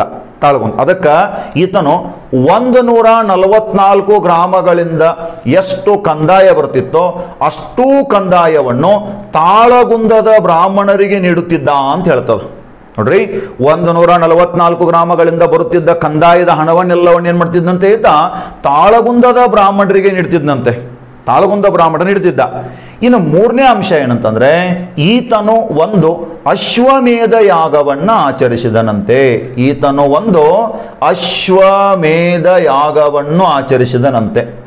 ಒಂದು ಒಂದಿಷ್ಟು ಪ್ರಶ್ನೆಗಳು ನೋಡ್ರಿ ಇವಾಗ ಮೊದಲನೆಯದ್ದು ಏನ್ ಕ್ವಶನ್ ಕೇಳ್ತಾರ? ಈ ಮಯೂರವರ್ಮ ಹೊರಡಿಸಿದ ಶಾಸನ, ಚಂದ್ರವಳ್ಳಿ ಶಾಸನ. ಇರೋದಿಲ್ಲಿ ಚಿತ್ರದುರ್ಗ. ಭಾಷೆ ಪ್ರಾಕೃತ, ಲಿಪಿ ಬ್ರಾಹ್ಮಿ. ಭಾಷೆ ಪ್ರಾಕೃತ, ಲಿಪಿ ಬ್ರಾಹ್ಮಿ. ಇನ್ನಿದು ಚಂದ್ರವಳ್ಳಿ ಕೆರೆಯ ಒಡ್ಡನ್ನ ಎತ್ತರಿಸಿದ ಅಂತ ಹೇಳ್ತದೆ. ಒಂದು ನೂರ ನಲವತ್ನಾಲ್ಕು ಗ್ರಾಮಗಳನ್ನ ಬ್ರಾಹ್ಮಣರಿಗೆ ದಾನವಾಗಿ ನೀಡಿದ್ದ. ಅಂದ್ರೆ ಅಲ್ಲಿ ಬರ್ತಕ್ಕಂಥ ಕಂದಾಯವನ್ನ ಅವರಿಗೆ ದಾನವಾಗಿ ನೀಡಿದ್ದಂತೆ. ಇದು ಅಂಶ. ಇನ್ನೊಂದು ಏನಂತಂದ್ರೆ ಈ ಮಯೂರವರ್ಮನು ಅಶ್ವಮೇಧ ಯಾಗವನ್ನ ಆಚರಣೆ ಮಾಡಿದ ಅಂತ ಹೇಳ್ತದೆ. ಮಯೂರವರ್ಮ ಏನು ಮಾಡಿದ? ಅಶ್ವಮೇಧ ಯಾಗ ಆಚರಣೆ ಮಾಡಿದ ಅಂತ ಹೇಳ್ತದ. ಹಾಗಾದ್ರೆ ಒಂದು ಪ್ರಶ್ನೆ ನಿಮಗೆ. ಕರ್ನಾಟಕವನ್ನಾಳಿದ ಮೊಟ್ಟ ಮೊದಲ ಅಚ್ಚ ಕನ್ನಡದ ರಾಜಮನೆತನ ಯಾವುದು? ಅಂದ್ರೆ ಕದಂಬರು. ಇನ್ನೊಂದು ಪ್ರಶ್ನೆ ನೋಡ್ರಿ. ಕರ್ನಾಟಕವನ್ನಾಳಿದ ಮೊಟ್ಟ ಮೊದಲ ಸ್ವತಂತ್ರ ರಾಜಮನೆತನ ಅಂದ್ರ ಶಾತವಾಂಡ್ರು ಅಂತ ಗೊತ್ತಿರಬೇಕು. ಆದ್ರೆ ಕರ್ನಾಟಕವನ್ನಾಳಿದ ಅಚ್ಚ ಕನ್ನಡದ ಮೊಟ್ಟ ಮೊದಲ ರಾಜಮನೆತನ ಅಂತ ಕೇಳಿದ್ರೆ ಅದು ಬಣವಾಸಿಯ ಕದಂಬರು. ಬಣವಾಸಿಯ ಕದಂಬರು. ಈ ಬಣವಾಸಿಯ ಕದಂಬರು ಕದಂಬರ, ಮನೆತನದ ರಾಜ, ಮೊದಲ ರಾಜ ಯಾರು ಮಯೂರವರ್ಮ. ಈ ಮಯೂರವರ್ಮನೆ ಅಶ್ವಮೇಧ ಯಾಗವನ್ನು ಆಚರಿಸಿದ ಮೊಟ್ಟ ಮೊದಲ ರಾಜ. ಅಶ್ವಮೇಧ ಯಾಗವನ್ನು ಆಚರಿಸಿದ ಮೊಟ್ಟ ಮೊದಲ ರಾಜ ಯಾರು ಅಂತ ಪ್ರಶ್ನೆ ಕೇಳಿದ್ರ? ಯಾರಪ್ಪ? ಕನ್ನಡದ ಮೊದಲ ರಾಜ ಯಾರು? ಮಯೂರವರ್ಮ. ಹಾಗಾದ್ರೆ ಕರ್ನಾಟಕದ ಪ್ರಥಮ ಚಕ್ರವರ್ತಿ ಯಾರು ಅಂತ ಪ್ರಶ್ನೆ ಕೇಳಿದ್ರ? ನೆನಪಿರಬೇಕು. ಕರ್ನಾಟಕದ ಪ್ರಥಮ ಚಕ್ರವರ್ತಿ ಯಾರು ಅಂತ ಪ್ರಶ್ನೆ ಕೇಳಿದ್ರೆ ಮಯೂರವರ್ಮ. ಕನ್ನಡದ ಮೊದಲ ದೊರೆ ಮಯೂರವರ್ಮ. ಅಶ್ವಮೇಧ ಯಾಗವನ್ನು ಆಚರಿಸಿದ ಮೊದಲ ದೊರೆ ಯಾರು? ಮಯೂರವರ್ಮ. ಇದೇನು ಚಂದ್ರವಳ್ಳಿ ಶಾಸನ ಅಂತಿದೆ? ಈ ಚಂದ್ರವಳ್ಳಿ ಶಾಸನದಲ್ಲಿ ಒಂದು ಪದವನ್ನ ಪತ್ತೆ ಹಚ್ತಾರೆ ಯಾವ ಪದ ಅಂತಂದ್ರ ಕುಪನಚಮ ಅಂತ ಒಂದು ಪದ ಇದೆ. ಕುಪನಚಮ. ಈ ಕುಪನಚಮ ಎನ್ನುವ ಪದಕ್ಕೆ ಯಾವುದೇ ಅರ್ಥ ಇಲ್ಲ. ಅದಕ್ಕೆ ಸಂಶೋಧಕರು ಏನು ಹೇಳ್ತಾರೆ ಅಂತಂದ್ರೆ ಸಂಶೋಧಕರು ಹೇಳ್ತಾರೆ, ಇದು ಬಹುಶಃ ಈ ಶಾಸನವನ್ನು ಕೆತ್ತಿದ ಶಿಲ್ಪಿಯ ಹೆಸರಿರಬಹುದು ಅಂತ ಹೇಳಿದ್ರು. ಈ ಶಾಸನವನ್ನು ಕೆತ್ತಿದ ಶಿಲ್ಪಿ ಹೆಸರಿರಬಹುದು, ಅದಕ್ಕೆ ಈ ಶಾಸನದೊಳಗ ಅವನ ಹೆಸರನ್ನ ಉಲ್ಲೇಖಿದೆ ಕುಪನಚಮ ಅಂದ್ರೆ ಶಾಸನದ ಶಿಲ್ಪಿ ಅಂತೇಳಿ ಹೇಳ್ತಿರ್ತಾರೆ. ಇಷ್ಟು ಈ ಚಂದ್ರವಳ್ಳಿ ಶಾಸನದ ಬಗ್ಗೆ ನಿಮಗೆ ಗೊತ್ತಿರಬೇಕು. ನಾನು ಇಲ್ಲಿನ ಶಾಸನ ಬಗ್ಗೆ, ತಾಳಗುಂದ ಶಾಸನದ ಬಗ್ಗೆ ಹೇಳಿದೆ, ಆಮೇಲೆ ಹಲ್ಮಿಡಿ ಹೇಳಿದೆ, ಹಲಸಿ ಶಾಸನ ಹೇಳಿದೆ, ಚಂದ್ರವಳ್ಳಿ ಶಾಸನ ಹೇಳಿದೆ, ಇವು ನಾಲ್ಕು ಕದಂಬರ ಮನೆತನಕ್ಕೆ ಸಂಬಂಧಪಟ್ಟಂತ ಶಾಸನಗಳು. ನೀವೇನಾದರೂ ಈ ಬಿ ಎಡ್ ಎಕ್ಸಾಮ್ಗೆ ಬಿ ಎಡ್ ಸಿ ಟಿ ಓದ್ತಾ ಇದ್ರೆ ಬಿ ಎಡ್ ಸಿ ಟಿ ಓದ್ತಾ ಇದ್ರೆ ಮತ್ತು ಅದರಲ್ಲಿ ಟಿ ಟಿಗೆ ಓದ್ತಾ ಇದ್ರೆ ಕೆ ಎಸ್ ಮೇನ್ಸ್ ಓದ್ತಾ ಇದ್ರೆ ಗ್ರೂಪ್ ಸಿ ಎಕ್ಸಾಮ್ಗೆ ಓದ್ತಾ ಇದ್ರೆ, ಎಲ್ಲ ಪರೀಕ್ಷೆಗಳಿಗೆ ಉಪಯುಕ್ತ ಆಗ್ತಕ್ಕಂಥ ಮಾಹಿತಿ ಇದು. ಎಲ್ಲ ಪರೀಕ್ಷೆಗಳಿಗೆ ಉಪಯುಕ್ತ ಆಗ್ತಕ್ಕಂಥ ಮಾಹಿತಿ ಇದು ಆಗಿರ್ತದೆ. ಇದನ್ನು ಚೆನ್ನಾಗಿ ನೆನ್ಪಿಟ್ಟುಕೊಳ್ಬೇಕು. ಇದು ಕ್ವಶನ್ ನಂಬರ್ ಹನ್ನೊಂದು. ನಾವೀಗ ನೇರವಾಗಿ ಹನ್ನೆರಡನೇ ಪ್ರಶ್ನೆಯನ್ನು ನೋಡೋಣ. ಮಯೂರವರ್ಮನ ಮೂಲ ಸ್ಥಳ ಯಾವುದು? ಮಯೂರವರ್ಮನ ಮೂಲ ಸ್ಥಳ ಯಾವುದು? A. Banavasi, B. Halasi, C. Kanchi, D. Talagunda ಅಂತ ಆಪ್ಷನ್ಸ್ ಅನ್ನ ಕೊಟ್ಟಿದ್ದಾರೆ. ನೋಡೋಣ ಮಯೂರವರ್ಮನ ಮೂಲ ಸ್ಥಳ ಯಾವುದು ಅಂತ ಪ್ರಶ್ನೆ ಇದೆ. ಕನ್, ಕರ್ನಾಟಕದ ಮೊದಲ ಚಕ್ರವರ್ತಿಯಾಗಿರುವ ಮಯೂರವರ್ಮನ ಮೂಲ ಸ್ಥಳ ಯಾವುದು ಅಂತ ಪ್ರಶ್ನೆ ಇದೆ. ಇಲ್ಲಿ ನೋಡೋಣ, ಬನವಾಸಿ ಅಂತ ಏನೈತೋ ಈ ಬನವಾಸಿಯು ಮಯೂರವರ್ಮನ ರಾಜಧಾನಿ. ಬನವಾಸಿಯು ಮಯೂರವರ್ಮನ ರಾಜಧಾನಿ ಇದು ಓಕೆನಾ? ಈ ಹಲಸೆ ಐತಲ್ಲ, ಹಲಸಿಯು ಕದಂಬರ ಎರಡನೇ ರಾಜಧಾನಿ. ಇಂದಿನ ಬೆಳಗಾವಿ ಜಿಲ್ಲೆಯ ಖಾನಾಪುರ ತಾಲೂಕಿನ ಹಲಸಿಯು ಕದಂಬರ ಎರಡನೇ ರಾಜಧಾನಿ. ಒಬ್ಬ ಮೃಗೇಶ್ವರ್ಮ ಅಂತ ಬರ್ತಾನ ಅವನ ಕಾಲದಾಗ ಇದು ಎರಡನೇ ರಾಜಧಾನಿ ಆಯಿತು. ಕಂಚಿ ಐತ್ ನೋಡ್ರಿ ಈ ಕಂಚಿಗೆ ಮಯೂರವರ್ಮ ತನ್ನ ತಾತನ ಜೊತೆಗೆ ಹೋಗಿದ್ದ. ಎದಕ್ಕೆ ಹೋಗಿದ್ದ ಅಂತಂದ್ರೆ ನಕಿಲ ಪ್ರವಚನಕ್ಕಾಗಿ ಹೋಗಿದ್ದ ಅಥವಾ ಹೆಚ್ಚಿನ ವಿದ್ಯಾಭ್ಯಾಸಕ್ಕಾಗಿ ಹೋಗಿದ್ದ. ನಕಿಲ ಪ್ರವಚನಕ್ಕಾಗಿ ಹೋಗಿದ್ದ ಅಥವಾ ಹೆಚ್ಚಿನ ವಿದ್ಯಾಭ್ಯಾಸಕ್ಕೆ ಹೋಗಿದ್ದ? ಒಂದ್ಸಾರಿ ಕೆ ಎಸ್ ಎಕ್ಸಾಮ್ ಇದೇ ಕ್ವಶನ್ ಕೇಳಿದಾರ? ಮಯೂರವರ್ಮನು ಈ ಕೆಳಗಿನ ಯಾವ ಕಾರಣಕ್ಕಾಗಿ ಕಂಚಿಗೆ ಹೋಗಿದ್ದ ಅಂತ ಕೇಳಿದ್ರೆ ನಕಿಲ ಪ್ರವಚನಕ್ಕಾಗಿ ಅಂತ ಹೇಳ್ಬೇಕು, ಇಲ್ಲದೆ ಹೋದ್ರೆ ಹೆಚ್ಚಿನ ವಿದ್ಯಾಭ್ಯಾಸಕ್ಕಾಗಿ ಅಂತ ಹೇಳ್ಬೇಕು. ಇನ್ ನೆಕ್ಸ್ಟ್ ನೋಡ್ರಿ, ತಾಳಗುಂದ ಅಂತಿದೆ ತಾಳಗುಂದ. ಈ ತಾಳಗುಂದ, ಶಿವಮೊಗ್ಗ ಜಿಲ್ಲೆಯ ತಾಳಗುಂದ ಏನಾಯ್ತೋ, ಈ ತಾಳಗುಂದವು ಮಯೂರವರ್ಮನ ಮೂಲ ಸ್ಥಳ. ಮಯೂರವರ್ಮನ ಮೂಲ ಸ್ಥಳ ಅಂತೇಳಿ ಹೇಳ್ತಾರೆ. ಹಾಗಾದ್ರೆ ನಾವು ಇಲ್ಲಿ ನೋಡೋಣ. ಬನವಾಸಿ ರಾಜಧಾನಿ ಇತ್ತು, ಹಲಸಿ ಎರಡನೇ ರಾಜಧಾನಿ. ಕಂಚಿ ಆತ ವಿದ್ಯಾಭ್ಯಾಸಕ್ಕಾಗಿ ಹೋದದ್ದು. ಅಲ್ಲೊಂದು ವಿದ್ಯಾ ಕೇಂದ್ರದಾಗ ವಿದ್ಯಾ, ವಿದ್ಯಾರ್ಜಿ, ಅಂದ್ರೆ ವಿದ್ಯೆಯನ್ನು ಕಲಿತು ಬಂದ. ಇನ್ನ ತಾಳಗುಂದ ಈತನ ಮೂಲ ಸ್ಥಳ ಆಗಿತ್ತು ಅಂತೇಳಿ ನಿಮಗೆ ಗೊತ್ತಿರಬೇಕಾಗ್ತದ. ಇದು ಕ್ವಶನ್ ನಂಬರ್ ಹನ್ನೆರಡು. ಓಕೆ ನಾವೀಗ ನೇರವಾಗಿ ಹದಿಮೂರನೇ ಪ್ರಶ್ನೆಯನ್ನ ನೋಡೋಣ. ರಘುಪರಶಿವ ಮತ್ತು ಕದಂಬ ಕುಲ ಪ್ರಚನ್ನ ಜನ ಎಂಬ ಬಿರುದು ಪಡೆದಿದ್ದ ಅರಸ ಯಾರು ರಘುಪರಶಿವ ಮತ್ತು ಕದಂಬ, ಕುಲ, ಪ್ರಚನ್ನ, ಜನ ಎಂಬ ಬಿರುದು ಪಡೆದಿದ್ದ ಅರಸ ಯಾರು ಅಂತೇಳಿ ಪ್ರಶ್ನೆಯನ್ನ ಕೇಳಿದ್ದಾರೆ. ಓಕೆ ಇವರೆಲ್ಲರೂ ಇಂಪಾರ್ಟೆಂಟ್ ಇವೆಲ್ಲವೂ ಇಂಪಾರ್ಟೆಂಟ್ ಆಗಿರುವಂಥ ಅಂಶಗಳು. ಇಲ್ಲಿ ನಾವು ಯಾರ್ಯಾರು ಕದಂಬರ ಅರಸರು ಬರ್ತಾರ ಅಂತ ಮೊದಲು ನೋಡೋಣ. ಆಮೇಲೆ ಅವ್ರ ಬಿರುದುಗಳ ಬಗ್ಗೆ ನೋಡೋಣ. ಈಗ ಮೊದಲಿಗೆ ಒಬ್ಬ ನೋಡ್ರಪ್ಪ ಕರೆಕ್ಟ್ ಅರ್ಥ ಮಾಡ್ಕೊಂಡು ಮಯೂರ ಮಯೂರವರ್ಮ ಅಂತ ಬರ್ತಾನೆ. ಇವನ ಬಗ್ಗೆ ಅಂತ ನಿಮಗೆ ಗೊತ್ತಿದೆ ಈಗ. ಮಯೂರವರ್ಮ ಅಂತಿದ್ದಾನೆ. ಮಯೂರವರ್ಮ. ಈ ಮಯೂರವರ್ಮನ ಮಗ ಯಾರು ಅಂತ ಕೇಳಿದ್ರೆ ಕಂಗವರ್ಮ ಅಂತ ಬರ್ತಾನೆ. ಮಯೂರವರ್ಮನ ಮಗ ಯಾರು? ಕಂಗವರ್ಮ ಅಂತಿದ್ದಾನೆ. ಈ ಕಂಗವರ್ಮನ ನಂತರ ಬರೋರು ಯಾರು ಅಂತ ಕೇಳಿದ್ರ ನೆನಪಿರ್ಬೇಕು ಕಂಗವರ್ಮನ ನಂತರ ಬರೋವನು ಆತನ ಮಗನಾಗಿರುವ ಭಗೀರಥ ವರ್ಮ ಅಂತೇಳಿ. ಕಂಗವರ್ಮನ ನಂತರ ಬರೋವನು ಆತನ ಮಗ ಭಗೀರಥ ವರ್ಮ ಈ ಭಗೀರಥ ವರ್ಮನ ನಂತರ ಬರೋವನು ರಘುಪತಿ ವರ್ಮ ಅಂತೇಳಿ. ಭಗೀರಥ ವರ್ಮಣ ನಂತರ ಬರೋನು ರಘುಪತಿ ವರ್ಮ. ರಘುಪತಿ ವರ್ಮ ಅಂತಿದ್ದಾನೆ. ಈ ರಘುಪತಿ ವರ್ಮಣ ನಂತರ ಬರೋನು ಕಾಕುತ್ಸ ವರ್ಮ. ರಘುಪತಿ ವರ್ಮಣ ನಂತರ ಬರೋನು ಕಾಕುತ್ಸ ವರ್ಮ ಅಂತ ಬರ್ತಾನೆ ಈ ಕಾಕುತ್ಸ ವರ್ಮಣ ನಂತರ ಬಂದವನು ಶಾಂತಿ ವರ್ಮ ಅಂತಿದ್ದಾನೆ. ಕಾಕುತ್ಸ ವರ್ಮಣ ನಂತರ ಬಂದವನು ಶಾಂತಿ ವರ್ಮ ಅಂತಿದ್ದಾನೆ. ಶಾಂತಿ ವರ್ಮನ ನಂತರ ಬರೋನು ಮೃಗೇಶ ವರ್ಮ ಅಂತಿದ್ದಾನೆ. ಮೃಗೇಶ ವರ್ಮ ಇವರೊಂದಿಷ್ಟು ಜನ ಪ್ರಮುಖವಾಗಿರ್ತಕ್ಕಂಥ ರಾಜರಿವರು ನೆನ್ಪಿಟ್ಟುಕೊಡ್ರಿ ಯಾರ್ಯಾರಪ್ಪ? ಮಯೂರ ವರ್ಮ ಕಂಗವರ್ಮ ಭಗೀರಥ ವರ್ಮ ರಘುಪತಿ ವರ್ಮ ಕಾಕುತ್ಸ ವರ್ಮ ಶಾಂತಿ ವರ್ಮ ಮೃಗೇಶ್ ವರ್ಮ ಅಂತಿದ್ದಾರೆ. ಇವ್ರ ನಂತರ ಮತ್ತೆ ಮಂದಾತುರ ವರ್ಮ ಹರಿವರ್ಮ, ರವಿವರ್ಮ, ಭೋಗಿವರ್ಮ ಅಂತ ಬರ್ತಾರೆ. ಭೋಗಿವರ್ಮ ಲಾಸ್ಟ್ಗೆ ಬರಾವಣೆ ಯಾರು ಅಂತಂದ್ರೆ ಈ ಭೋಗಿವರ್ಮ ಅಥವಾ ಎರಡನೇ ಕೃಷ್ಣವರ್ಮ ಅಂತ ಓದ್ತೀವಿ ನಾವು ಭೋಗಿವರ್ಮ ಅಥವಾ ಎರಡನೇ ಕೃಷ್ಣವರ್ಮ. ಇಲ್ಲಿ ಸ್ವಲ್ಪ ನೋಡೋಣ. ಸ್ಥಾಪಕ ಯಾರು? ಮಯೂರವರ್ಮ. ಮಯೂರವರ್ಮ. ಆತನ ಮಗ ಕಂಗವರ್ಮ. ಶ್ರೇಷ್ಠ ಸಮರ್ಥ ತಂದೆಯ ಅಸಮರ್ಥ ಮಗ ಇವನು ಕಂಗವರ್ಮ. ಓಕೆ. ಕಂಗವರ್ಮನ ನಂತರ ಬಂದವನು ಯಾರು ಅಂತ ಕೇಳಿದ್ರೆ ಈ ಭಗೀರಥ ವರ್ಮ ಅಂತ ಬರ್ತಾನೆ. ನೋಡ್ರಿ. ಮಯೂರವರ್ಮನ ಮಗ ಕಂಗವರ್ಮ, ಕಂಗವರ್ಮನ ನಂತರ ಬರೋನು ಭಗೀರಥ ವರ್ಮ ಈ ಭಗೀರಥ ವರ್ಮನಿಗೆ ಎರಡು ಬಿರುದುಗಳಿರ್ತಾವ ಒಂದು ರಘು ಪರ ಶಿವ ಅಂತೇಳಿ. ರಘು ಪರ ಶಿವ ಅಂತೇಳಿ ಒಂದು ಬಿರುದಿದೆ ಆತನಿಗೆ. ಒಂದು ಬಿರುದು. ಇನ್ನೊಂದು ಏನಿದೆ ಬಿರುದು ಅಂತಂದ್ರೆ ಈತನಿಗೆ ಕದಂಬ ಕುಲ ಪ್ರಚನ್ನ ಜನ ಅಂತಿದೆ. ಕದಂಬ ಕುಲ ಕದಂಬ ಕುಲ ಪ್ರಚನ್ನ ಜನ ಅಂತ ಒಂದು ಬಿರುದು ಈತನಿಗಿದೆ. ಇದರ ಅರ್ಥ ಏನು? ಕದಂಬ ಕುಲ ಪ್ರಚನ್ನ ಜನ ಅಂದ್ರ ಕದಂಬರ ಕುಲದಲ್ಲಿ ರಹಸ್ಯವಾಗಿ ಹುಟ್ಟಿದವ ಅಂತ ಅರ್ಥ. ಕದಂಬರ ಕುಲದಲ್ಲಿ ರಹಸ್ಯವಾಗಿ ಹುಟ್ಟಿದವ. ಯಾಕೆ ಈ ರೀತಿ ಹೇಳಿದ್ರು ಅಂತಂದ್ರೆ, ಆತ ರಾಜನಾಗುವವರೆಗೆ ಅರಮನೆಯಿಂದ ಹೊರಗಿದ್ದು, ಬೆಳೆದು, ಆಮೇಲೆ ನೇರವಾಗಿ ಬಂದು ರಾಜನಾದ. ಅದಕ್ಕೆ ಅವನನ್ನ ಕದಂಬರ ಕುಲದಲ್ಲಿ ರಹಸ್ಯವಾಗಿ ಹುಟ್ಟಿದವ ಅಥವಾ ಕದಂಬರ ಕುಲದಲ್ಲಿ ರಹಸ್ಯವಾಗಿ ಬೆಳೆದವ ಅಂತ ಹೇಳಿದ್ರು. ಯಾರಿಗೆ? ಈ ಭಗೀರಥ ವರ್ಮನಿಗೆ. ಇನ್ನ ಆ ಭಗೀರಥ ವರ್ಮನ ನಂತರ ಆತನ ಮಗ ಬರ್ತಾನೆ, ರಘುಪತಿ ವರ್ಮ ಅಂತೇಳಿ. ರಘುಪತಿ ವರ್ಮನಿಗೂ ಸಹಿತ ಒಂದು ಬಿರುದಿತ್ತು, ಆತನ ಬಿರುದು ರಘು ಪರ ಶಿವ ಅಂತೇಳಿ. ಆತನ ಬಿರುದು ರಘು ಪರ ಶಿವ ಅಂತ. ರಘು ಪರ ಶಿವ ಅನ್ನೋದು ಯಾರ ಬಿರುದಪ್ಪ? ರಘುಪತಿ ವರ್ಮಂದು. ಇನ್ನೊಂದು ಮೋಸ್ಟ್ ಇಂಪಾರ್ಟೆಂಟ್ ಪದೇ ಪದೇ ಎಕ್ಸಾಮ್ನೇ ಕೇಳುವಂಥದ್ದು, ಇವನ ಬಗ್ಗೆ ರಘುಪತಿ ವರ್ಮ ನೆನಪಿರಲಿ. ನಮ್ಮ ಗುಪ್ತ ಸಾಮ್ರಾಜ್ಯದೊಳಗೊಬ್ಬ ರಾಜ ಇದ್ದ ಎರಡನೇ ಚಂದ್ರಗುಪ್ತ ಅಂತೇಳಿ. ಗುಪ್ತರ ರಾಜ ಯಾರು? ಎರಡನೇ ಚಂದ್ರಗುಪ್ತ ಅಂತ ಇರ್ತಾನೆ ಗುಪ್ತರ ರಾಜ ಎರಡನೇ ಚಂದ್ರಗುಪ್ತ. ಈ ಎರಡನೇ ಚಂದ್ರಗುಪ್ತನ ಮಂತ್ರಿ ಒಬ್ಬ ಇರ್ತಾನೆ, ಆತನ ಹೆಸರು ಎರಡನೇ ಕಾಳಿದಾಸ ಅಂತೇಳಿ. ಎರಡನೇ ಚಂದ್ರಗುಪ್ತ ಎಂಬ ಗುಪ್ತ ಸಾಮ್ರಾಜ್ಯದ ರಾಜ, ಆತನ ಮಂತ್ರಿ ಯಾರು? ಎರಡನೇ ಕಾಳಿದಾಸ.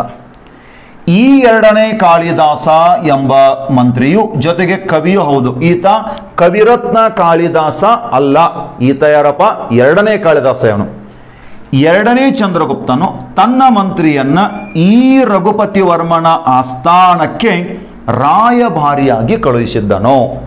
ಇಲ್ಲಿ ಪ್ರಶ್ನೆ ಏನು ಕೇಳಿದಾರೆ ಅಂತಂದ್ರ ಎರಡನೇ ಚಂದ್ರಗುಪ್ತನಿಗೆ ಸಮಕಾಲೀನ ಕದಂಬರ ಅರಸ ಯಾರು? ರಘುಪತಿ ವರ್ಮ, ಇದೊಂದು ಪ್ರಶ್ನೆ.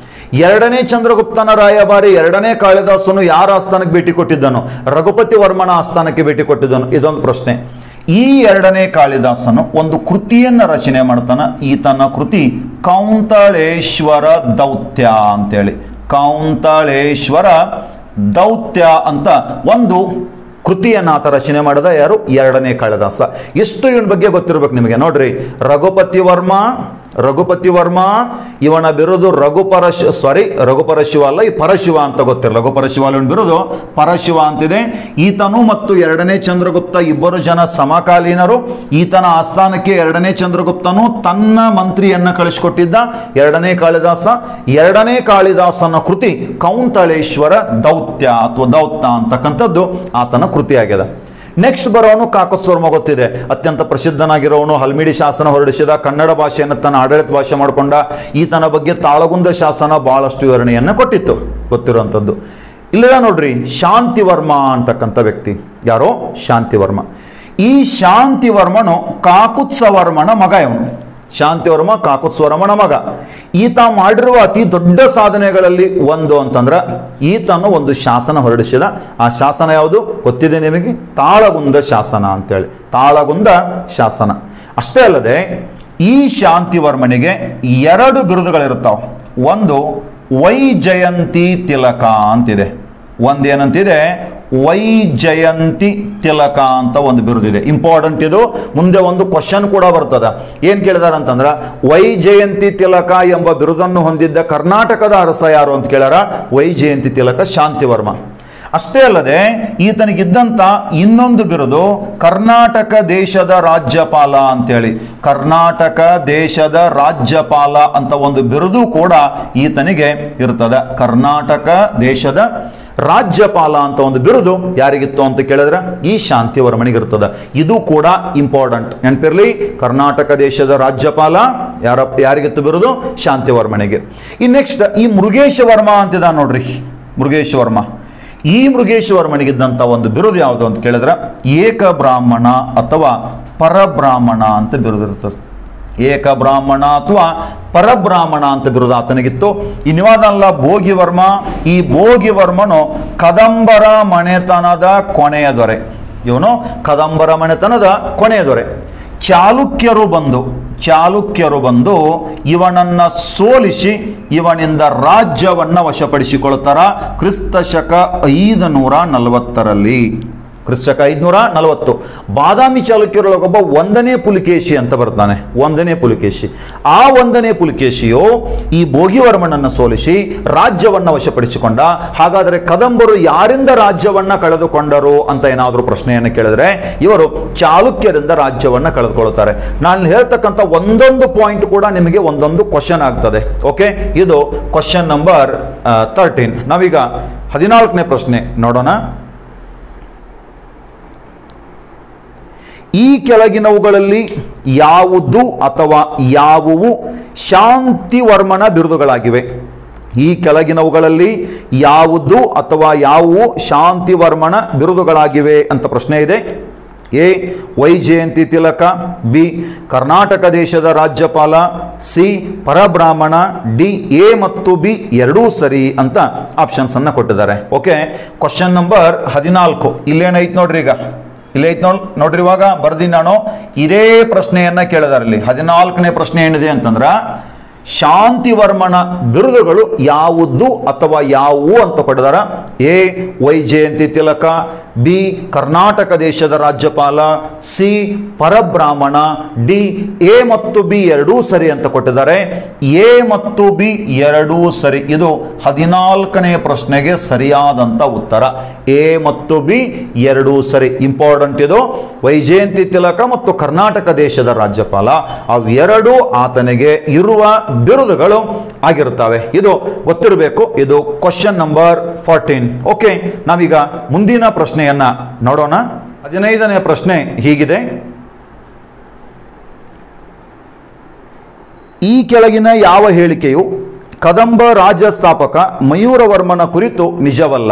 ಈ ಕೆಳಗಿನ ಯಾವ ಹೇಳಿಕೆಯು ಕದಂಬ ರಾಜ್ಯ ಸ್ಥಾಪಕ ಮಯೂರವರ್ಮನ ಕುರಿತು ನಿಜವಲ್ಲ. ಎ ಆತ ಪ್ರಾರಂಭದಲ್ಲಿ ಬ್ರಾಹ್ಮಣನಾಗಿದ್ದು ತರುವಾಯ ಕ್ಷತ್ರಿಯನಾದನು. ಆತ ಪ್ರಾರಂಭದಲ್ಲಿ ಬ್ರಾಹ್ಮಣನಾಗಿದ್ದ ತರುವಾಯ ಏನಾದ ಕ್ಷತ್ರಿಯನಾದ ಅಂತೇಳಿ ಒಂದು ಆಪ್ಷನ್ ಅನ್ನ ಕೊಟ್ಟಿದ್ದಾರೆ. ಮೊದಲು ಬ್ರಾಹ್ಮಣನಾಗಿದ್ದ, ನಂತರ ಕ್ಷತ್ರಿಯನಾದ. ಎರಡನೇ ಆಪ್ಷನ್ ಏನಿದೆ ಅಂತಂದ್ರೆ, ಆತ ಕಾಂಚೀಪುರಂನಲ್ಲಿನ ಒಂದು ತರಬೇತಿ ಕೇಂದ್ರದಲ್ಲಿ ತರಬೇತಿ ಪಡೆದನು ಅಂತಿದೆ. ಅಂದ್ರೆ ಕಾಂಚೀಪುರಂ ಅಂತಂದ್ರೆ ಕಂಚಿ ಮತ್ತು ಕಾಂಚೀಪುರಂ ಎರಡು ಒಂದೇ. ಆಪ್ಷನ್ ಎ ಏನ್ ಕೊಟ್ಟಿದ್ದಾರೆ ಅಂತಂದ್ರೆ, ಆತ ಬ್ರಾಹ್ಮಣನಾಗಿದ್ದ, ತರವಾಯ ಕ್ಷತ್ರಿಯನಾದ. ಬಿ ಏನ್ ಕೊಟ್ಟಿದ್ದಾರೆ, ಆತ ಕಂಚೀಪುರಂನಲ್ಲಿ ಒಂದು ತರಬೇತಿ ಕೇಂದ್ರ, ಕೇಂದ್ರದಲ್ಲಿ ತರಬೇತಿ ಪಡೆದನು ಅಂತಿದೆ. ಸಿ ಏನು ಕೊಡಿದರೆ ಆತ ತಾಳಗುಂದದ ಸ್ತಂಭ ಶಾಸನವನ್ನು ಕೆತ್ತಿಸಿದನು ಅಂತ ಇದೆ. ಆತ ತಾಳಗುಂದದ ಸ್ತಂಭ ಶಾಸನವನ್ನು ಕೆತ್ತಿಸಿದ ಅಂತ ಆಪ್ಷನ್ ಅನ್ನು ಕೊಟ್ಟಿದ್ದಾರೆ. ಎಸ್ ಇನ್ನ ಡಿ ಆಪ್ಷನ್ ಏನಿದೆ ಅಂತಂದ್ರೆ ಕರ್ನಾಟಕದ ಕರಾವಳಿಯಲ್ಲಿ ಬ್ರಾಹ್ಮಣರು ನೆಲೆಸಲು ಆತ ಕಾರಣಾದನು ಅಂತಿದೆ. ಕರ್ನಾಟಕದ ಕರಾವಳಿಯಲ್ಲಿ ಬ್ರಾಹ್ಮಣರು ನೆಲೆಸಲು ಆತ ಕಾರಣ ಆದ ಅಂತೇಳಿ ಆಪ್ಷನ್ಸ್ ಅನ್ನು ಕೊಟ್ಟಿದ್ದಾರೆ. ಪ್ರಶ್ನೆ ಇರೋದೇನು? ಮಯೂರವರ್ಮನಿಗೆ ಸಂಬಂಧಿಸಿದಂತೆ ಈ ಕೆಳಗಿನ ಯಾವ ಹೇಳಿಕೆ ತಪ್ಪಾಗಿದೆ ಅಂತ ಪ್ರಶ್ನೆ ಕೇಳಿದ್ದಾರೆ. ನೋಡ್ರಿ, ಆತ ಮೊದಲು ಬ್ರಾಹ್ಮಣನಾಗಿದ್ದ, ನಂತರ ತರುವಾಯ ಅಂದ್ರ ನಂತರ ಕ್ಷತ್ರಿಯನಾದ. ಹೌದು, ಸರಿ, ಈತ ಬ್ರಾಹ್ಮಣನಾಗಿದ್ದ. ಮಯೂರ ಶರ್ಮ ಅಂತ ಕರೆಸ್ಕೊಳ್ತಿದ್ದ. ಆಮೇಲೆ ಏನಾದ? ಮಯೂರ ವರ್ಮ ಆದ. ಸರಿನಾ ಇದು? ನಂತರ ಕಂಚೀಪುರದ ಒಂದು ತರಬೇತಿ ಕೇಂದ್ರದಲ್ಲಿ ಆತ ತರಬೇತಿಯನ್ನು ಪಡ್ಕೊಂಡ. ಹೌದು, ಸರಿ, ಕಾಂಚೀಪುರಂನ ಹೋಗಿದ್ದ, ಅಲ್ಲಿ ತರಬೇತಿಯನ್ನು ಪಡ್ಕೊಂಡಿದ್ದ. ಅವಾಗ ಶಿವಸ್ಕಂದ ವರ್ಮನಿಂದ ಅವಮಾನ ಆಗಿ ಆತ ರಾಜ್ಯವನ್ನ ಕಟ್ಟಿದ. ನೆಕ್ಸ್ಟ್ ತಾಳಗುಂದದ ಸ್ತಂಭ ಶಾಸನವನ್ನ ಹೊರಡಿಸಿದ ಅಂತ ಹೇಳಿದರೆ ಆದರೆ ಈ ತಾಳಗುಂದದ ಶಾಸನವನ್ನ ಹೊರಡಿಸಿದವನು ಶಾಂತಿವರ್ಮನೇ ಹೊರತು ಮಯೂರ ವರ್ಮ ಅಲ್ಲ ಶಾಂತಿವರ್ಮಣ ಶಾಸನ ಹೊರಡಿಸಿದ, ಆದರೆ ಈತ ಹೊರಡಿಸಿಲ್ಲ. ಅಂದ್ರೆ ಇಲ್ಲಿ ತಪ್ಪಾದ ಹೇಳಿಕೆ ಯಾವುದು ಅಂತಂದ್ರೆ ಸಿ. ನೆಕ್ಸ್ಟ್ ಕರ್ನಾಟಕದ ಕರಾವಳಿಯಲ್ಲಿ ಬ್ರಾಹ್ಮಣರು ನೆಲೆಸಲು ಈತ ಕಾರಣನಾದ ಅಂತ ಪ್ರಶ್ನೆ ಇದೆ. ಕರ್ನಾಟಕದ ಕರಾವಳಿಯಲ್ಲಿ ಬ್ರಾಹ್ಮಣರು ನೆಲೆಸಲು ಈತ ಕಾರಣನಾದ ಅಂತ ಪ್ರಶ್ನೆಯನ್ನು ಕೊಟ್ಟ ಒಂದು ಒಂದು ಆಪ್ಷನ್ ಕೊಟ್ಟಿದ್ದಾರೆ. ಹೌದು, ಈತ ಬಂದು ಕರ್ನಾಟಕದ ಕರಾವಳಿಯ ಈ ಉತ್ತರ ಕನ್ನಡ ಜಿಲ್ಲೆ ಸಿರ್ಸಿ ಎಂಬಲ್ಲಿ ಒಂದು ಸಾಮ್ರಾಜ್ಯವನ್ನು ಸ್ಥಾಪಿಸಿದ. ಆ ಬ್ರಾಹ್ಮಣರಿಗೆ ಪ್ರೋತ್ಸಾಹ ಸಿಕ್ತು. ಜೊತೆಗೆ ಬ್ರಾಹ್ಮಣರಿಗೆ ಒಂದು ನೂರ ನಲವತ್ನಾಲ್ಕು ಇಪ್ಪತ್ನಾಲ್ಕು ಗ್ರಾಮಗಳನ್ನು ದಾನವಾಗಿ ಕೊಟ್ಟ. ಅಲ್ಲಿನ ಕಂದಾಯವನ್ನು ಅವ್ರಿಗೆ ಬಿಟ್ಟು ಕೊಡ್ತಿದ್ದ ಅಂದರೆ ಇವರು ಬ್ರಾಹ್ಮಣರಲ್ಲಿ ಬಂದು ನೆಲೆಸೋದಕ್ಕಾತ ಕಾರಣ ಇದು ಸಹಿತ ಸರಿಯಾಗಿರ್ತಕ್ಕಂಥ ಆಪ್ಷನ್ನು ಇಲ್ಲಿ ತಪ್ಪಾದದ್ದು ಯಾವುದಂದ್ರೆ ತಾಳಗುಂದ ಶಾಸನವನ್ನು ಹೊರಡಿಸಿದ ಅನ್ನೋದು ಮಾತ್ರ ತಪ್ಪಾಗಿರುವಂಥದ್ದು ಆಗಿರ್ತದೆ. ಇದು ಕ್ವಶನ್ ನಂಬರ್ ಹದಿನೈದು. ನಾವೀಗ ನೇರವಾಗಿ ಹದಿನಾರನೇ ಪ್ರಶ್ನೆಯನ್ನ ನೋಡೋಣ. ಹದಿನಾರನೇ ಪ್ರಶ್ನೆ ಹೀಗಿದೆ. ಕದಂಬರ ರಾಜ್ಯವನ್ನು ವಶಪಡಿಸಿಕೊಂಡವರು ಯಾರು? ಕದಂಬರ ರಾಜ್ಯವನ್ನು ವಶಪಡಿಸಿಕೊಂಡವರು ಯಾರು ಅಂತ ಪ್ರಶ್ನೆ ಇದೆ. ಆಪ್ಷನ್ ಎ, ಗಂಗರು, ಬಿ, ಚಾಲುಕ್ಯರು, ಡಿ, ಸಿ, ಪಲ್ಲವರು, ಡಿ, ಚೋಳರು ಅಂತ ಆಪ್ಷನ್ಸ್ ಅನ್ನ ಕೊಟ್ಟಿದ್ದಾರೆ. ಇಲ್ಲಿ ಕ್ವಶನ್ ನಂಬರ್ ಹದಿನಾರು. ಏನಿದೆ ಅಂತಂದ್ರೆ, ಈ ಕದಂಬರ ರಾಜ್ಯವನ್ನು ವಶಪಡಿಸಿಕೊಂಡವರು ಯಾರು ಅಂತ ಪ್ರಶ್ನೆ ಕೊಟ್ಟು, ಅಲ್ಲಿ ಗಂಗರು, ಪಲ್ಲವರು, ಚೇಳರು, ಚೋಳರು, ಚಾಲುಕ್ಯರು ಅಂತ ಆಪ್ಷನ್ಸ್ ಅನ್ನ ಕೊಟ್ಟಿದ್ದಾರೆ. ಇಲ್ಲಿ ನಾನು ಈಗಾಗಲೇ ಹೇಳಿದೆ, ಈ ಕದಂಬ ಮನೆತನದ ಕೊನೆಯ ಅರಸ ಯಾರು? ಭೋಗಿವರ್ಮ ಅಂತಿದ್ದಾನೆ ಭೋಗಿವರ್ಮ. ಈ ಭೋಗಿವರ್ಮ ಐದು ನೂರ ನಲವತ್ತರಲ್ಲಿ ಸೋತ. ಯಾರ ವಿರುದ್ಧ ಸೋತ? ಚಾಲುಕ್ಯರ ಒಂದನೇ ಪುಲಿಕೇಶಿಯ ವಿರುದ್ಧ ಸೋತ. ಚಾಲುಕ್ಯರ ಒಂದನೇ ಪುಲಿಕೇಶಿ ವಿರುದ್ಧ ಈತ ಸೋಲ್ತಾನೆ. ಇದರ ಅರ್ಥ ಏನಪ್ಪ? ಈ ಕದಂಬರ ರಾಜ್ಯವನ್ನ ಕಿತ್ತುಕೊಂಡವ್ರು ಯಾರು ಅಂತ ಕೇಳಿದ್ರ ಬಾದಾಮಿಯ ಚಾಲುಕ್ಯರು. ಬಾದಾಮಿಯ ಚಾಲುಕ್ಯರು. ಹೀಗೆ ನೋಡ್ರಿ ಕಡೆಗೆ. ನೋಡ್ರಿ, ಮೊದಲು ಪಲ್ಲವರು ಅಂತಿದ್ರು. ಕಂಚಿಯ ಪಲ್ಲವರು. ಕಂಚಿಯ ಪಲ್ಲವರಿಂದ ರಾಜ್ಯವನ್ನ, ಪ್ರದೇಶವನ್ನ ವಶಪಡಿಸಿಕೊಂಡವರು ಯಾರು? ಕದಂಬರು. ಕದಂಬರಿಂದ ರಾಜ್ಯವನ್ನ ಗೆದ್ದುಕೊಂಡವರು ರಾಸ್, ಚಾಲುಕ್ಯರು. ಚಾಲುಕ್ಯರಿಂದ ರಾಜ್ಯವನ್ನ ಗೆದ್ದುಕೊಂಡವರು ರಾಷ್ಟ್ರಕೂಟರು ಅಂತೇಳಿ. ರಾಷ್ಟ್ರಕೂಟರು. ಈ ರಾಷ್ಟ್ರಕೂಟರಿಂದ ರಾಜ್ಯವನ್ನ ಗೆದ್ದುಕೊಂಡವರು ಕಲ್ಯಾಣದ ಚಾಲುಕ್ಯರು. ರಾಷ್ಟ್ರಕೂಟರಿಂದ ರಾಜ್ಯವನ್ನ ಗೆದ್ದುಕೊಂಡವರು ಕಲ್ಯಾಣದ ಚಾಲುಕ್ಯರು. ಕಲ್ಯಾಣದ ಚಾಲುಕ್ಯರಿಂದ ಸ್ವತಂತ್ರವಾದವರು ಹೊಯ್ಸಳರು. ಇವರಿಂದ ಸ್ವತಂತ್ರರಾದವರು ಹೊಯ್ಸಳರು. ಹೊಯ್ಸಳರ ಆಡಳಿತಾವಧಿಯಲ್ಲಿ ಅವರಿಗೆ ಸಾಮಂತರಾಗಿ ಆಡಳಿತವನ್ನ ಮಾಡಿದ್ದು ವಿಜಯನಗರ ಸಾಮ್ರಾಜ್ಯ. ವಿಜಯನಗರ ಸಾಮ್ರಾಜ್ಯ.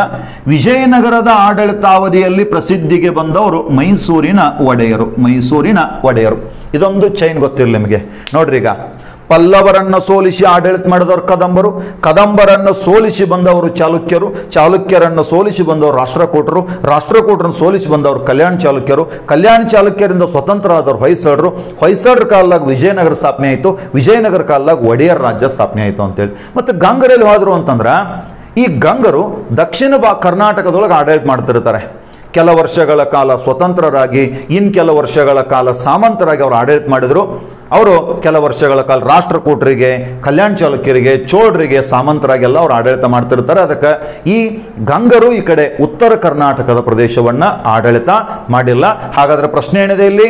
ಕದಂಬರ ರಾಜ್ಯವನ್ನು ಕಿತ್ತುಕೊಂಡು ಆಡಳಿತ ಮಾಡಿದವರು ಯಾರು ಅಂತ ಕೇಳಿದರೆ, ಯಾರು ಅಂತ ಕೇಳಿದಾಗ ಬಾದಾಮಿಯ ಚಾಲುಕ್ಯರು ಕದಂಬರಿಂದ ರಾಜ್ಯವನ್ನು ಕಿತ್ತುಕೊಂಡು ಆಡಳಿತ ಮಾಡ್ತಾರೆ. ಇಷ್ಟು ನಿಮಗೆ ಸರಿಯಾಗಿ ಗೊತ್ತಿರಬೇಕು. ಇದು ಕ್ವಶನ್ ನಂಬರ್ ಹದಿನಾರು ಕ್ವಶನ್ ನಂಬರ್ ಹದಿನಾರು. ಆತ್ಮೀಯ ವಿದ್ಯಾರ್ಥಿಗಳೇ, ನಾವು ಹದಿನಾರು ಪ್ರಶ್ನೆಗಳನ್ನು ನೋಡಿದ್ವಲ್ಲ, ಇವೆಲ್ಲ ಏನದಾವೋ, ಇವು ಕದಂಬರ ರಾಜಕೀಯ ಇತಿಹಾಸಕ್ಕೆ ಸಂಬಂಧಪಟ್ಟಂತ ಪ್ರಶ್ನೆಗಳಾಗಿದ್ದಾವೆ ಕದಂಬ ರಾಜಕೀಯ ಇತಿಹಾಸಕ್ಕೆ. ನಾನು ಇವಾಗ ಇನ್ನೊಂದಿಷ್ಟು ಪ್ರಶ್ನೆಗಳನ್ನು ನೋಡ್ತೀನಿ. ನಮ್ಮ ಕೆ ಪಿ ಎಸ್ ಸಿ ಮತ್ತು ಪಿ ಎಸ್ ಐ ಈ ಎಫ್ ಡಿ ಎಸ್ ಡಿ ಅಂತ ಪರೀಕ್ಷೆ ಒಳಗೆ ಪಿ ಸಿ ಪರೀಕ್ಷೆ ಒಳಗೆ ಆಡಳಿತದ ಬಗ್ಗೆ ಕ್ವಶನ್ಸ್ ಅನ್ನು ಕೇಳ್ತಿರ್ತಾರೋ, ಅವುಗಳನ್ನು ನಾನು ಇವಾಗ ಇಲ್ಲಿ ಹೇಳ್ತೀನಿ ಒಂದಿಷ್ಟು. ಬಹಳ ಮುಖ್ಯವಾಗಿರ್ತಕ್ಕಂಥವು.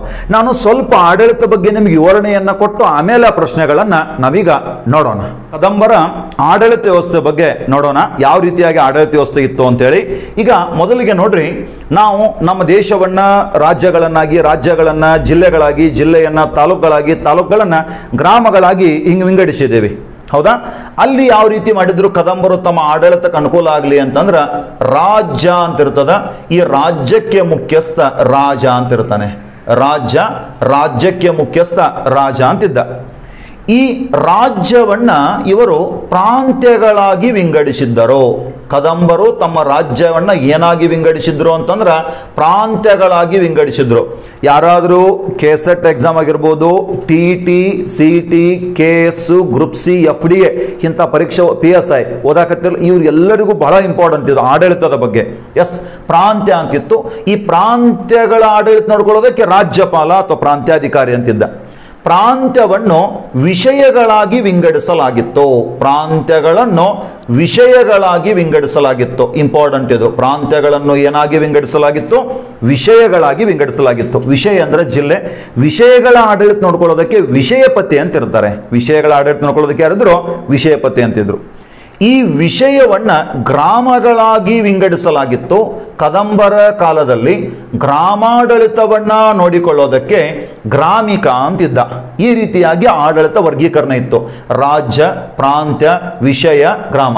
ರಾಜ್ಯವನ್ನು ಪ್ರಾಂತ್ಯಗಳಾಗಿ, ಪ್ರಾಂತ್ಯವನ್ನು ವಿಷಯಗಳಾಗಿ, ವಿಷಯ ಅಂದರೆ ಜಿಲ್ಲೆ, ವಿಷಯಗಳನ್ನ ಗ್ರಾಮಗಳಾಗಿ ವಿಂಗಡಿಸಲಾಗಿತ್ತು. ಪ್ರಾಂತ್ಯಗಳಿಗೆ ರಾಜ್ಯಪಾಲ, ವಿಷಯಗಳಿಗೆ ವಿಷಯಪತಿ, ಗ್ರಾಮಗಳ ಆಡಳಿತವನ್ನ ಗ್ರಾಮಿಕ ನೋಡಿಕೊಳ್ಳುತ್ತಿದ್ದ. ಈಗ ಇವರ ಕಾಲದಲ್ಲಿದ್ದಂಥ ನಾಲ್ಕು ಪ್ರಾಂತ್ಯಗಳದಾವ. ನಾಲ್ಕು ಪ್ರಾಂತ್ಯಗಳು. ಆ ನಾಲ್ಕು ಪ್ರಾಂತ್ಯಗಳು ನಮಗೆ ಇಂಪಾರ್ಟೆಂಟ್ ಪರೀಕ್ಷಾ ದೃಷ್ಟಿಯಿಂದ. ಯಾವ ನಾಲ್ಕು ಪ್ರಾಂತ್ಯಗಳು ಅಂತಂದ್ರೆ ಒಂದು ಬನವಾಸಿ ಅಂತ ಒಂದು ಪ್ರಾಂತ್ಯ ಇದೆ. ಒಂದು ಪ್ರಾಂತ್ಯ ಬನವಾಸಿ. ಎರಡನೆಯದು ಹಲಸಿ ಅಂತಿದೆ. ಬೆಳಗಾವಿ ಜಿಲ್ಲೆಯ ಕನಾಪುರ ತಾಲೂಕಿನ ಹಲಸಿ. ಇನ್ನೊಂದು ಉಚ್ಚಂಗಿ ಅಂತಿದೆ.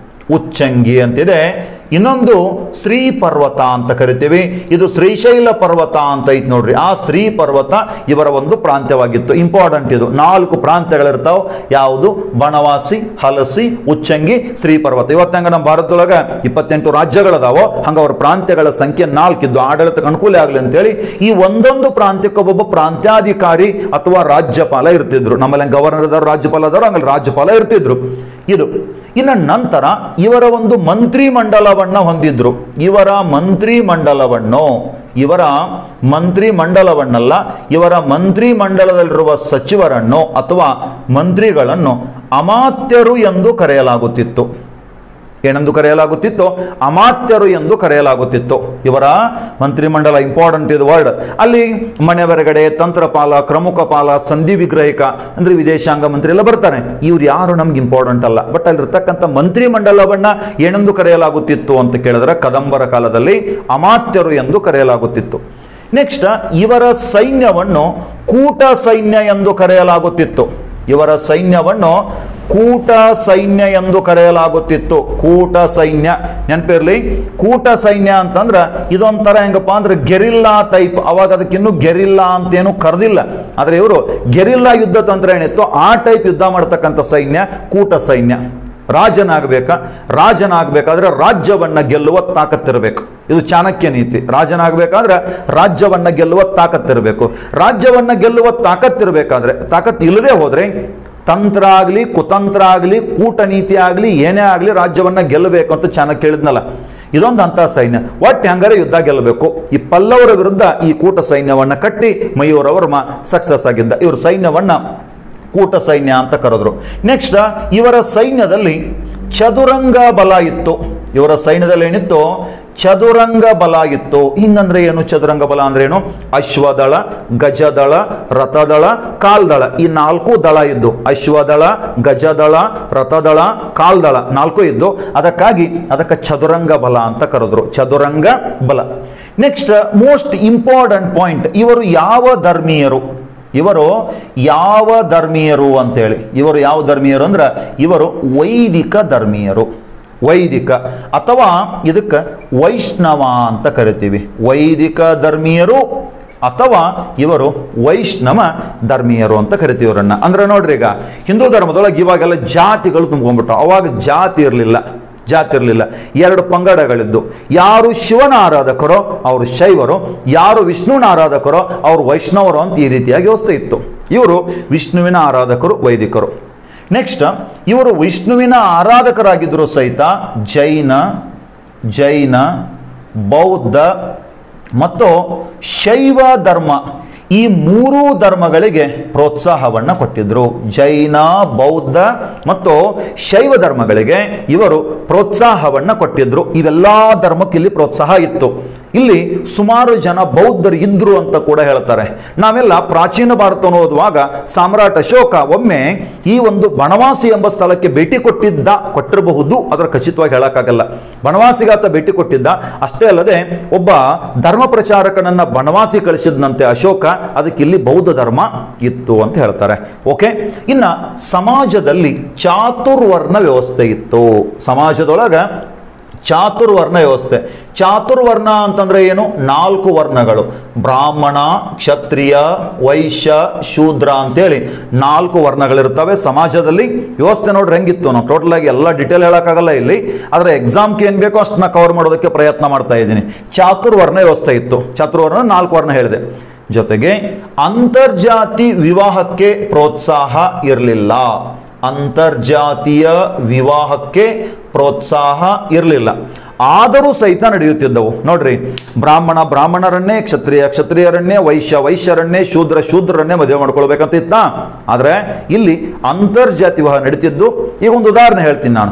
ಬ್ರಾಹ್ಮಣನೊಬ್ಬ ಕ್ಷತ್ರಿಯಳನ್ನ ಮದುವೆ ಆಗ್ತಿದ್ದ. ಅಥವಾ ಬ್ರಾಹ್ಮಣನೊಬ್ಬ ಶೂದ್ರಳನ್ನ ಮದುವೆ ಆಗ್ತಿದ್ದ. ಅಥವಾ ಶೂದ್ರನೊಬ್ಬ ಬ್ರಾಹ್ಮಣ ಮಹಿಳೆಯನ್ನ ಮದುವೆ ಆಗ್ತಿದ್ದ. ಈ ರೀತಿಯಾಗಿ ಅಂತರ್ಜಾತಿ ವಿವಾಹ ನಡೀತಿತ್ತು. ಅಂತರ್ಜಾತಿ ವಿವಾಹವಾದಾಗ ವಿವಾಹವಾದಾಗ ಅಲ್ಲಿ ಆ ದಾಂಪತ್ಯಕ್ಕೆ ಹುಟ್ಟತಕ್ಕಂಥ ಮಗು ಇತ್ತು ನೋಡ್ರಿ. ಆ ಮಗುವನ್ನ ಈ ಯಾವುದೇ ವರ್ಣದಲ್ಲಿ ಸೇರಿಸ್ಕೊಳ್ಳಿಲ್ಲ. ಅದಕ್ಕೆ ಅದೊಂದು ಹೊಸ ವರ್ಣ ಹುಟ್ಕೊಳ್ತು ಅದನ್ನು ಪಂಚಮ ವರ್ಣ ಅಂತ ಕರೆದ್ರು. ಏನಂತ ಕರೆದ್ರು? ಪಂಚಮ ವರ್ಣ. ಚಾತುರ್ವರ್ಣದ ಜೊತೆಗೆ ಇನ್ನೊಂದು ಹೊಸ ವರ್ಣ ವರ್ಣ ಹುಟ್ಕೊಂಡಿತ್ತಿಲ್ಲಿ ಅದನ್ನು ಪಂಚಮ ವರ್ಣ ಅಂತ ಕರೀತಾರೆ. ಇದನ್ನು ನಾವು ಅಚ್ಚ ಕನ್ನಡದಲ್ಲಿ ವರ್ಣ ಸಂಕರಣ ಎಂದು ಕರೆಯುತ್ತೇವೆ. ವರ್ಣ ಸಂಕರಣ ಎಂದು ಕರೆಯುತ್ತೇವೆ. ವರ್ಣ ಸಂಕರಣ ಅಂದ್ರೆ ಏನು? ಅಂತರ್ಜಾತಿ ಆದಾಗ ಆ ಒಂದು ದಾಂಪತ್ಯಕ್ಕೆ ಹುಟ್ಟತಕ್ಕಂಥ ಮಗು ಏನಿರ್ತೈತೋ ಅದು ಪಂಚಮ ವರ್ಣ ಹಿಂಗೆ ಬೇರೆ ಬೇರೆ ವರ್ಣ ಉಟ್ಕೊಂತ ಉಟ್ಕೊಂತ ಹೋಗಿ ನೂರಾರು ಜಾತಿಗಳಾಗಿಬಿಡ್ತಾವ ಇನ್ನು ನೆಕ್ಸ್ಟ್ ಇನ್ನೊಂದು ಅಂಶ ನಿಮಗೆ ಗೊತ್ತಿರಬೇಕು. ಬಹಳ ಇಂಪಾರ್ಟೆಂಟ್ ಆಗಿರುವಂಥದ್ದು ಅಂದ್ರೆ ಇವರ ಕಾಲದ ಮುಖ್ಯ ಕಸುಬು ಯಾವುದು? ಇವರ ಕಾಲದ ಮುಖ್ಯ ಕಸುಬು ಯಾವುದು ಅಂತ ಪ್ರಶ್ನೆ ಕೇಳಿದ್ರೆ, ಇವರ ಕಾಲದ ಅತಿ ಮುಖ್ಯವಾಗಿರುವ ಕಸುಬು ಕೃಷಿ. ಮುಖ್ಯವಾಗಿರುವ ಕಸುಬು ಯಾವುದು? ಕೃಷಿ. ಇದು ಗೊತ್ತಿರಬೇಕು ನಿಮಗೆ. ಇದರ ಜೊತೆಗೆ ಈ ಮುಖ್ಯ ಕಸುಬು ಕೃಷಿ ಇತ್ತಲ್ಲ, ಕೃಷಿಯ ಜೊತೆಗೆ ಮತ್ತೇನು ಮಾಡ್ತಿದ್ರು ಅಂತಂದ್ರೆ ಇವರು ನೂಲುವುದು ಮತ್ತು ನೇಯುವುದು. ನೂಲುವುದು ಮತ್ತು ನೇಯುವುದು. ಹತ್ತಿಯಿಂದ ನೂಲ್ ಮಾಡೋದು, ನೂಲಿನಿಂದ ಬಟ್ಟೆ ನೇಯುವುದು. ನೂಲುವುದು ಮತ್ತು ನೇಯುವುದು, ನೂಲುವುದು ಮತ್ತು ನೇಯುವುದು ಅಂತೇಳಿ ಇದರ ಜೊತೆಗೇನಿತ್ತು ಅಂತಂದ್ರೆ ವ್ಯಾಪಾರ ಇತ್ತು. ಬೇರೆ ಬೇರೆ ಕಡೆಗೆ, ಬೇರೆ ಬೇರೆ ರಾಜ್ಯದೊಂದಿಗೆ ಇವರು ವ್ಯಾಪಾರದ ಸಂಪರ್ಕ ನಡೆಸ್ತಿದ್ರು. ಕದಂಬರ ಕಾಲದ ಮುಖ್ಯವಾದ ಕಸುಬು ಕೃಷಿ. ಕೃಷಿಯ ಜೊತೆಗೆ ಉಪಕಸುಬುಗಳು. ನೂಲುವುದು ಮತ್ತು ನೇಯುವುದು ಜೊತೆಗೆ ವ್ಯಾಪಾರ ಇತ್ತು. ಇವರ ಕಾಲದಲ್ಲಿ ಒಟ್ಟು ಆದಾಯದ ಮೇಲೆ, ಒಟ್ಟು ಆದಾಯ, ಅಂದ್ರೆ ಏನು ಆದಾಯ ಬರ್ತದೆ ಇಲ್ಲಿ? ಆದಾಯದ ಮೇಲೆ ಒನ್ ಬೈ ಸಿಕ್ಸ್ನಷ್ಟು ಕಂದಾಯವನ್ನ ಸಂಗ್ರಹಿಸಲಾಗುತ್ತಿತ್ತು. ಎಷ್ಟು ಕಂದಾಯ ಸಂಗ್ರಹಿಸಲಾಗುತ್ತಿತ್ತು ಆರನೇ ಒಂದು ಭಾಗ, ಇದು ಇಂಪಾರ್ಟೆಂಟ್ ಇದು. ಆರನೇ ಒಂದು ಭಾಗದಷ್ಟು ಕಂದಾಯ ಸಂಗ್ರಹಿಸಲಾಗ್ತಿತ್ತು ಕದಂಬರು, ಗಂಗರು, ಬಾದಾಮಿ ಚಾಲುಕ್ಯರು, ರಾಷ್ಟ್ರಕೂಟರು, ಕಲ್ಯಾಣ ಚಾಲುಕ್ಯರು, ಹೊಯ್ಸಳರು, ವಿಜಯನಗರ ಮತ್ತು ನಮ್ಮ ಮೈಸೂರು ಒಡೆಯರಿನದರು ಎಲ್ಲ ಕಾಲದಾಗ ಇಷ್ಟೇ ಇರ್ತದೆ ಕಂದಾಯ ಒನ್ ಬೈ ಸಿಕ್ಸ್ ಇದನ್ನು ಕ್ವಶನ್ ಕೇಳ್ತಿರ್ತಾರೆ ನಮಗೆ. ಎಷ್ಟು ಭಾಗ ಕಂದಾಯ? ಆದಾಯದ ಎಷ್ಟು ಭಾಗ ಕಂದಾಯವನ್ನ ಸಂಗ್ರಹಿಸಲಾಗ್ತಿತ್ತು ಅಂತ ಪ್ರಶ್ನೆ ಕೇಳಿದ್ರೆ, ಆರನೆಯ ಒಂದು ಭಾಗ ಕಂದಾಯವನ್ನ ಸಂಗ್ರಹಿಸಲಾಗುತ್ತಿತ್ತು. ಇಲ್ಲಿ ಮೂರು ತರಹದ ತೆರಿಗೆಗಳಿದ್ದವು. ಅದರೊಳಗ ಒಂದು ಬಿಲ್ ಕೊಡೆ ಅಂತ ತೆರಿಗೆ ಬರ್ತದೆ. ಒಂದು ತೆರಿಗೆ ಯಾವುದು? ಬಿಲ್ ಕೊಡೆ. ಅಥವಾ ಬಿಲ್ ಕೋಟೆ ಅಂತ ಕೂಡ ಒಂದು ಕಡೆ ಹೇಳ್ತಾರೆ. ಎರಡನೇದು ಪೆರ್ಜುಂಕ ಅಂತ ಒಂದು ಇದೆ. ಒಂದು ಬಿಲ್ ಕೊಡೆ ಅಂತ ತೆರಿಗೆ ಇದೆ. ಇನ್ನೊಂದು ಪೆರ್ಜುಂಕ ಅಂತಿದೆ. ಇನ್ನೊಂದು ಕಿರುಕುಳ ಅಂತಿದೆ. ಬಿಲ್ ಕೊಡೆ ಪೆರ್ಜುಂಕ ಕಿರುಕುಳ ಅಂತೇಳಿ ಮೂರು ತೆರಿಗೆಗಳದಾವ. ಬಿಲ್ ಕೊಡೆ ಎಂದರೆ ಇದು ವ್ಯಾಪಾರದ ಮೇಲಿನ ತೆರಿಗೆ. ಬಿಲ್ ಕೊಡೆ ಎಂದರೇನು? ವ್ಯಾಪಾರದ ಮೇಲಿನ ತೆರಿಗೆ. ಇದೇನು ಐತ್ ನೋಡ್ರಿ, ಯಾವುದು? ಪೆರ್ಜುಂಕ ಇದು ಹೊರೆಗಳು ಅಥವಾ ಸರಕುಗಳ ಮೇಲಿನ ತೆರಿಗೆ. ಹೊರೆಗಳು ಅಥವಾ ಸರಕುಗಳ ಮೇಲಿನ ತೆರಿಗೆ. ಕಿರುಕುಳ ಅಂತ ಏನಾಯಿತು ಇದು ಸಾಗಾಣಿಕೆಯ ಮೇಲಿನ ತೆರಿಗೆ. ಈ ರೀತಿಯಾಗಿ ಮೂರು ತೆರಿಗೆ ವಿಧಿಸ್ತಿದ್ರು. ಇಲ್ಲಿ ಎಷ್ಟಿತ್ತು ಭೂ ಕಂದಾಯ ಅಂದ್ರೆ ಆರನೇ ಒಂದು. ಅಥವಾ ಆದಾಯದ ಒಟ್ಟ ಎಷ್ಟು ಆದಾಯ ಇರ್ತದೋ, ಅದನ್ನ ಆರು ಭಾಗ ಮಾಡಿ, ಒಂದು ಭಾಗನ ರಾಜರಿಗೆ ಕೊಡಬೇಕಾಗಿತ್ತು. ಅದು ಆರನೆಯ ಒಂದು ಭಾಗ. ಜೊತೆಗೆ ಮೂರು ತೆರಿಗೆಗಳಿರ್ತಾವ. ಇಲ್ಲಿ ನಾನು ಯಾವುದೂ ಕ್ವಶನ್ ಹಾಕಿಲ್ಲ ತೆರಿಗೆ ಬಗ್ಗೆ. ಆದರೆ, ಈ ಮೂರು ತೆರಿಗೆಗಳು ಇಂಪಾರ್ಟೆಂಟ್ ಪದೇ ಪದೇ ಕ್ವಶನ್ ಕೇಳ್ತಾರೆ ಇವುಗಳನ್ನು ನೆನ್ಪಿಟ್ಕೊಳ್ರಿ. ಇವರ ಕಾಲದಲ್ಲಿ ಇದ್ದಂಥ ಚಿನ್ನದ ನಾಣ್ಯಗಳು. ಇವರ ಕಾಲದಲ್ಲಿ ಇದ್ದಂಥ ಚಿನ್ನದ ನಾಣ್ಯಗಳು ಚಿನ್ನದ ನಾಣ್ಯಗಳು. ಯಾವ ಚಿನ್ನದ ನಾಣ್ಯಗಳು ಅಂತಂದ್ರೆ ಇವು ಇಂಪಾರ್ಟೆಂಟ್ ಒಂದು ಪದ್ಮಟಂಕ ಅಂತ ಒಂದಿದೆ. ಒಂದು ಯಾವುದಪ್ಪ? ಪದ್ಮಟಂಕ ಅಂತಿದೆ. ಇನ್ನೊಂದು ಗದ್ಯಾನ ಅಂತ ಒಂದು ಚಿನ್ನದ ನಾಣ್ಯ ಇದೆ. ಇನ್ನೊಂದು ಚಿನ್ನದ ನಾಣ್ಯ ದ್ರುಮ್ಮ ಅಂತಿದೆ. ಒಂದು ಪದ್ಮಟಂಕ, ಗದ್ಯಾನ, ದ್ರುಮ್ಮ ಅಂತೇಳಿ ಮೂರು ಚಿನ್ನದ ನಾಣ್ಯಗಳು ಇವ್ರ ಕಾಲದೊಳಗೆ ಇರ್ತಿರ್ತಾವೆ. ಎಷ್ಟು ಚಿನ್ನದ ನಾಣ್ಯಗಳದಾವ? ಮೂರು ಚಿನ್ನದ ನಾಣ್ಯಗಳನ್ನು ಇವರು ಹೊರಡಿಸ್ತಿದ್ರು. ಇವರ ಆಡಳಿತಕ್ಕೆ ಸಂಬಂಧಪಟ್ಟಂತೆ ಈ ಕೆಲವೊಂದಿಷ್ಟು ಅಂಶಗಳು ನಿಮಗೆ ಗೊತ್ತಿರಬೇಕಾಗ್ತದೆ. ಅದಕ್ಕೆ ಸಂಬಂಧಪಟ್ಟದ್ದೇವೋ? ಆಡಳಿತಕ್ಕೆ ಸಂಬಂಧಪಟ್ಟದ್ದು. ಇನ್ನ ನೆಕ್ಸ್ಟ್ ನಾವು ನೋಡೋಣ. ಇವರ ಕಾಲದೊಳಗೆ ಕೆಲವೊಂದಿಷ್ಟು ಕಲೆಗೆ ಹೆಚ್ಚಿನ ಪ್ರೋತ್ಸಾಹವನ್ನು ಕೊಡಲಾಗಿತ್ತು. ಕಲೆಗೆ. ಅದು ನಮ್ಮ ಕೆ ಪಿ ಎಸ್ ಸಿ ಆಗಿರ್ಬೋದು P S I S D F D P C ಎಕ್ಸಾಮ್ನಾಗ ಕೇಳ್ತಕ್ಕಂಥ ಕೆಲವು ಅಂಶಗಳನ್ನು ಮಾತ್ರ ನಾವಿಲ್ಲಿ ನೋಡೋಣ. ನೋಡೋಣ. ಈಗ ನೋಡ್ರಿ, ಇವರ ಕಾಲದೊಳಗೆ ಏನು ಮಾಡ್ತಿದ್ರು ಅಂದ್ರೆ ಚೌಕಾಕಾರದ ಜಗುಲಿ. ಚೌಕಾಕಾರದ ಜಗುಲಿ. ಜಗುಲಿ ಅಂದ್ರೆ ಕಟ್ಟೆ. ಈ ಥರ ಜಗುಲಿಯನ್ನು ನಿರ್ಮಿಸಿ, ಈ ಜಗುಲಿಯ ಮೇಲೆ ಪೂರ್ವ ದಿಕ್ಕಿಗೆ ಮುಖ ಮಾಡಿದ ಗರ್ಭಗುಡಿಯನ್ನು ನಿರ್ಮಿಸ್ತಿದ್ರು. ಪೂರ್ವ ದಿಕ್ಕಿಗೆ ಮುಖ ಮಾಡಿದ ಗರ್ಭಗುಡಿ ನಿರ್ಮಿಸ್ತಿದ್ರು. ಈ ಗರ್ಭಗುಡಿಯ ಮೇಲೆ, ಇದೇನು ಗರ್ಭಗುಡಿ ಇತ್ತಲ್ಲ ಗರ್ಭಗುಡಿಯ ಮೇಲೆ ಮೆಟ್ಟಿಲಾಕೃತಿಯ ಗೋಪುರ ಇರ್ತಿತ್ತು. ಅಂದ್ರೆ ಸ್ಟೆಪ್ ಬೈ ಸ್ಟೆಪ್ ಗೋಪುರ ಇರ್ತಿತ್ತು. ಗೋಪುರದ ಮೇಲೊಂದು ಕಳಶ ಇರ್ತಿತ್ತು. ಗೋಪುರದ ಮೇಲೊಂದು ಕಳಶ. ಆಮೇಲೆ ಇದೇನಿದು ಐತಲ್ಲ ಜಗುಲಿ? ಈ ಜಗುಲಿಯ ಮುಂಭಾಗದಲ್ಲಿ ಆಯತಾಕಾರದ ಒಂದು ಮಂಟಪ ಇರ್ತಿತ್ತು. ಆಯತಾಕಾರದ ಮಂಟಪ, ಕಲ್ಲಿನ ಮಂಟಪ ಇರ್ತಿತ್ತು. ಇದರ ಸುತ್ತ ಎಡದಿಂದ ಬಲಕ್ಕೆ ಪ್ರದಕ್ಷಿಣಾ ಪಥವನ್ನು ನಿರ್ಮಿಸ್ತಿದ್ರು. ಇಲ್ಲಿ ನೋಡ್ರಿ ಇವಾಗ ಕರೆಕ್ಟಾಗಿ ನೋಡಬೇಕು. ಚೌಕಾಕಾರದ ಜಗುಲಿ, ಜಗುಲಿಯ ಮೇಲೆ ಪೂರ್ವ ದಿಕ್ಕಿಗೆ ಮುಖ ಮಾಡಿದ ಗರ್ಭಗುಡಿ, ಗರ್ಭಗುಡಿಯ ಮೇಲೆ ಮೆಟ್ಟಿಲು ಆಕೃತಿಯ ಗೋಪುರ, ಗೋಪುರದ ಮೇಲೊಂದು ಸುಂದರವಾದ ಕಳಶ, ಈ ಒಂದು ಜಗುಲಿಯ ಮುಂದೆ ಅಥವಾ ಗರ್ಭಗುಡಿಯ ಮುಂದೆ ಆಯತಾಕಾರದ ಮಂಟಪ, ಇದರ ಸುತ್ತ ಎಡದಿಂದ ಬಲಕ್ಕೆ ಪ್ರದಕ್ಷಿಣಾಪಥ ಈ ರೀತಿಯಲ್ಲಿ ಇವರು ದೇವಸ್ಥಾನಗಳನ್ನು ನಿರ್ಮಿಸಿದರು. ನಿರ್ಮಿಸಿದರು.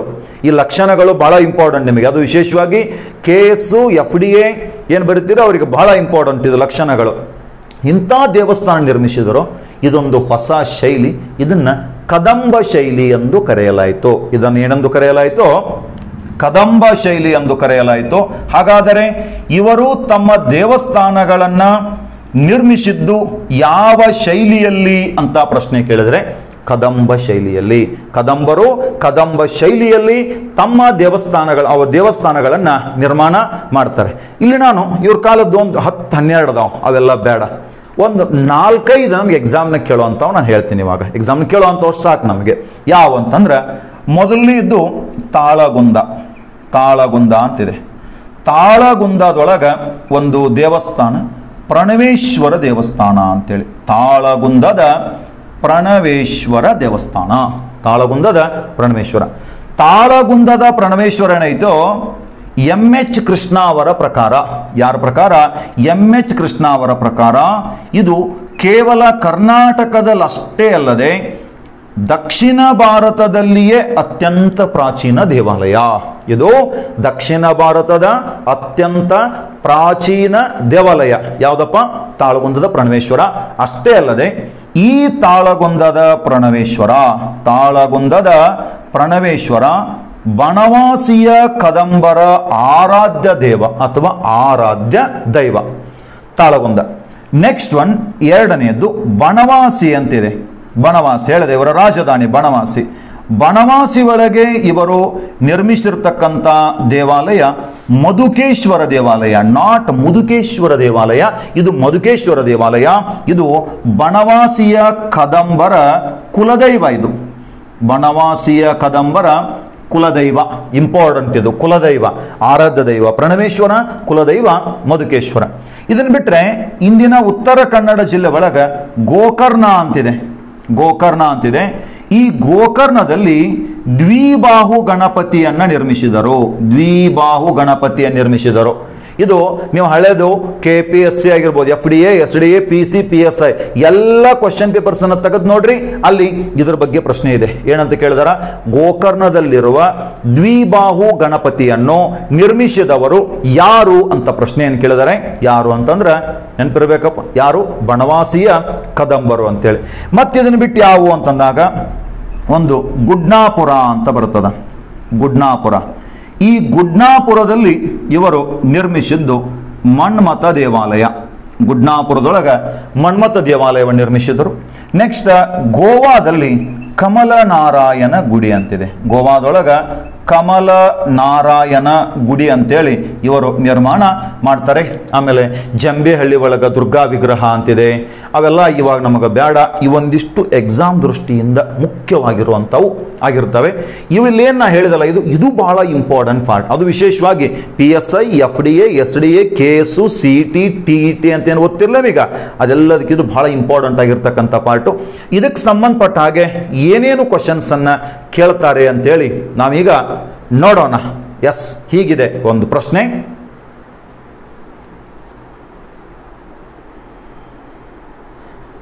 ಪ್ರಾಂತ್ಯದ ನಂತರ ಬರುತ್ತಿದ್ದ ಕದಂಬರ ಆಡಳಿತದ ಘಟಕ ಯಾವುದು?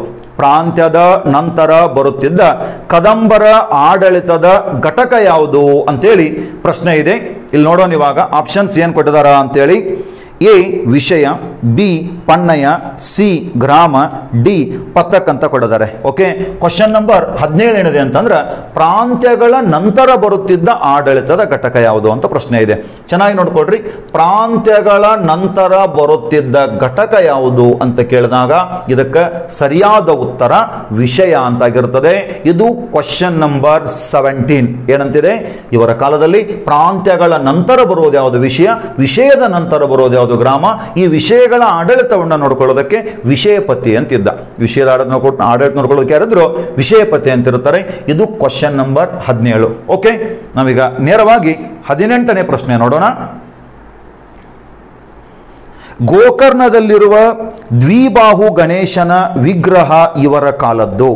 ಗೋಕರ್ಣದಲ್ಲಿರುವ ದ್ವಿಬಾಹು ಗಣೇಶನ ವಿಗ್ರಹ ಇವರ ಕಾಲದ್ದು. ಎ ಕದಂಬರು ಬಿ ಶಾತವಾಹನರು, ಸಿ ಚಾಲುಕ್ಯರು, ಡಿ ಹೊಯ್ಸಳರು ಅಂತಿದೆ. ಇಲ್ಲ, ನಾನು ಈಗಾಗಲೇ ಹೇಳಿದೆ ನಿಮಗೆ. ಗೋಕರ್ಣದಲ್ಲಿರುವ ದ್ವಿಬಾಹು ಗಣಪತಿ. ಈ ದ್ವಿಬಾಹು ಗಣಪತಿ ಯಾರ ಕಾಲದ್ದು ಅಂತ ಕೇಳಾರ ಹದಿನೆಂಟನೇ ಪ್ರಶ್ನೆಗೆ ಸರಿಯಾದ ಉತ್ತರ ಕದಂಬರು. ಇದು ಕದಂಬರ ಕಾಲದ ಒಂದು ದೇವಾಲಯ ಒಂದು ಒಂದು ಮೂರ್ತಿ ಇದಾಗಿರ್ತದೆ, ಗೋಕರ್ಣದ ದ್ವಿಬಾಹು ಗಣಪತಿ ಅಂತ ಹೇಳಿ ಓಕೆ, ಇದು question number eighteen okay nineteen number question Kadamba ರಾಜ್ಯದಲ್ಲಿ ನಾಲ್ಕು ಪ್ರಾಂತ್ಯಗಳಿದ್ದವು. ಅವುಗಳಲ್ಲಿ ಇಲ್ಲಿ ಯಾವುದು ಸೇರುವುದಿಲ್ಲ ಅಂತ ಪ್ರಶ್ನೆ ಇದೆ. ಕದಂಬರ ಕಾಲದಲ್ಲಿ ನಾಲ್ಕು ಪ್ರಾಂತ್ಯಗಳಿದ್ದವು. ಅವುಗಳಲ್ಲಿ ಇಲ್ಲಿ ಯಾವುದು? ಸೇರುವುದಿಲ್ಲ ಅಂತಿದೆ. Option A Sri Parvata B Kanchi C Halasi D Ucchangi ಅಂತ ಆಪ್ಷನ್ಸ್ ಅನ್ನು ಕೊಟ್ಟಿದ್ದಾರೆ. ನಾನಿಲ್ಲಿ ಸ್ಪಷ್ಟವಾಗಿ ಹೇಳಿದೆ ನಿಮಗೆ, ಯಾವ ಪ್ರಾಂತ್ಯಗಳದಾವು? ನಾಲ್ಕು ಪ್ರಾಂತ್ಯಗಳದಾವು. ಯಾವುದು? ಬನವಾಸಿ ಅಂತಿದೆ, ಹಲಸಿ ಅಂತಿದೆ, ಉಚ್ಚಂಗಿ ಅಂತಿದೆ, ಶ್ರೀಪರ್ವತ ಅಂತಿದೆ. ಅಲ್ಲಿ ಆಪ್ಷನ್ ಒಳಗೆ ಕಂಚಿ ಅಂತ ಕೊಟ್ಟಿದ್ದಾರೆ. ಕಂಚಿ ಕೊಡಿದರೆ ಇದು ಹತ್ತೊಂಬತ್ತನೇ ಪ್ರಶ್ನೆಗೆ ಉತ್ತರ ಇಲ್ಲಿದೆ. ಇದೆ? ಎಷ್ಟನೇ ಪ್ರಶ್ನೆಗೆ ಉತ್ತರ ಇದೆ ಅದು ಹತ್ತೊಂಬತ್ತನೇ ಪ್ರಶ್ನೆಗೆ ಉತ್ತರ ಇದೆ. ಕಂಚಿ ಇವರ ಪ್ರಾಂತ್ಯ ಅಲ್ಲ, ಇವರ ಪ್ರಾಂತ್ಯಗಳು ಯಾವುವು ಅಂತಂದರೆ ಚೆನ್ನಾಗಿ ನೋಡ್ಕೊಡ್ರಿ ಬನವಾಸಿ ಹಲಸಿ, ಉಚ್ಚಂಗಿ ಶ್ರೀ ಪರ್ವತ ಅಂತ ಐತಿ. ಇವು ಇವ್ರ ಕಾಲದ ನಾಲ್ಕು ಪ್ರಾಂತ್ಯಗಳು. ಇದು ಕ್ವಶನ್ ನಂಬರ್ ಹತ್ತೊಂಬತ್ತು. ಓಕೆ ನಾವೀಗ ಇಪ್ಪತ್ತನೇ ಪ್ರಶ್ನೆಯನ್ನು ನೋಡೋಣ. ಕದಂಬರ ಕಾಲದಲ್ಲಿ ಉತ್ಪನ್ನದ ಎಷ್ಟು ಭಾಗ ರಾಜ್ಯ ಕಂದಾಯದ ಪಾಲಾಗಿತ್ತು? ಕದಂಬರ ಕಾಲದಲ್ಲಿ ಉತ್ಪನ್ನದ ಎಷ್ಟು ಭಾಗ ರಾಜ್ಯ ಕಂದಾಯದ ಪಾಲಾಗಿತ್ತು ಅಂತಿದೆ? A one by two, B one by three, C one by four, D one by six ಅಂತೇಳಿ ಇಲ್ಲಿ ಆಪ್ಷನ್ಸ್ ಅನ್ನ ಕೊಟ್ಟಿದ್ದಾರೆ. ಕರೆಕ್ಟಾಗಿ ನೋಡ್ರಿ, ಇವರ ಕಾಲದೊಳಗ ಕಂದಾಯ ಎಷ್ಟು ಆದಾಯದ ಎಷ್ಟು ಭಾಗ ಅಂತ ಕೇಳಿದಾರ. ಆದಾಯದ ಒನ್ ಬೈ ಸಿಕ್ಸ್ ನಷ್ಟು ಭಾಗ ಅವರ ರಾಜ್ಯಾದಾಯಕ್ಕೆ ಹೋಗ್ತಿತ್ತು. ಅಂದ್ರೆ ರಾಜ್ಯಕ್ಕೆ ಹೋಗ್ತಿತ್ತು. ಉಳಿದದ್ದು ಇಲ್ಲಿನ ಉತ್ಪಾದಕರ ಕಡೆ ಬೀಳುತ್ತಿತ್ತು ಇಪ್ಪತ್ತನೇ ಪ್ರಶ್ನೆ ಏನು?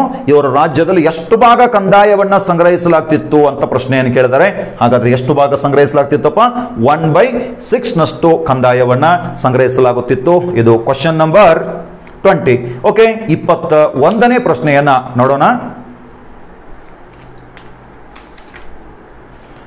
ಡಾಕ್ಟರ್ ಎಂ ಎಚ್ ಕೃಷ್ಣ ಅವರು ಹೇಳಿರುವಂತೆ, ದಕ್ಷಿಣ ಭಾರತದ ಅತ್ಯಂತ ಪುರಾತನ ದೇವಾಲಯ ಯಾವುದು?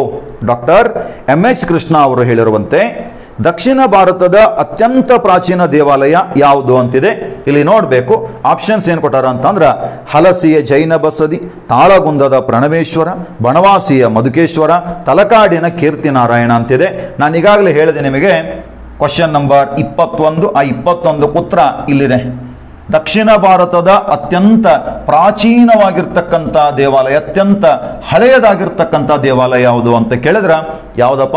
ನೆನಪಿರಲಿ, ತಾಳಗುಂದದ ಪ್ರಣವೇಶ್ವರ. ಇದು ಅತ್ಯಂತ ಹಳೆಯದಾಗಿರ್ತಕ್ಕಂಥ ದೇವಾಲಯ ಅಂತೇಳಿ ನಿಮಗೆ ಗೊತ್ತಿರಬೇಕು. ಇದು ಕ್ವಶನ್ ಓಕೆ ನಾವೀಗ ಮುಂದಿನ ಪ್ರಶ್ನೆಯನ್ನ ನೋಡೋಣ.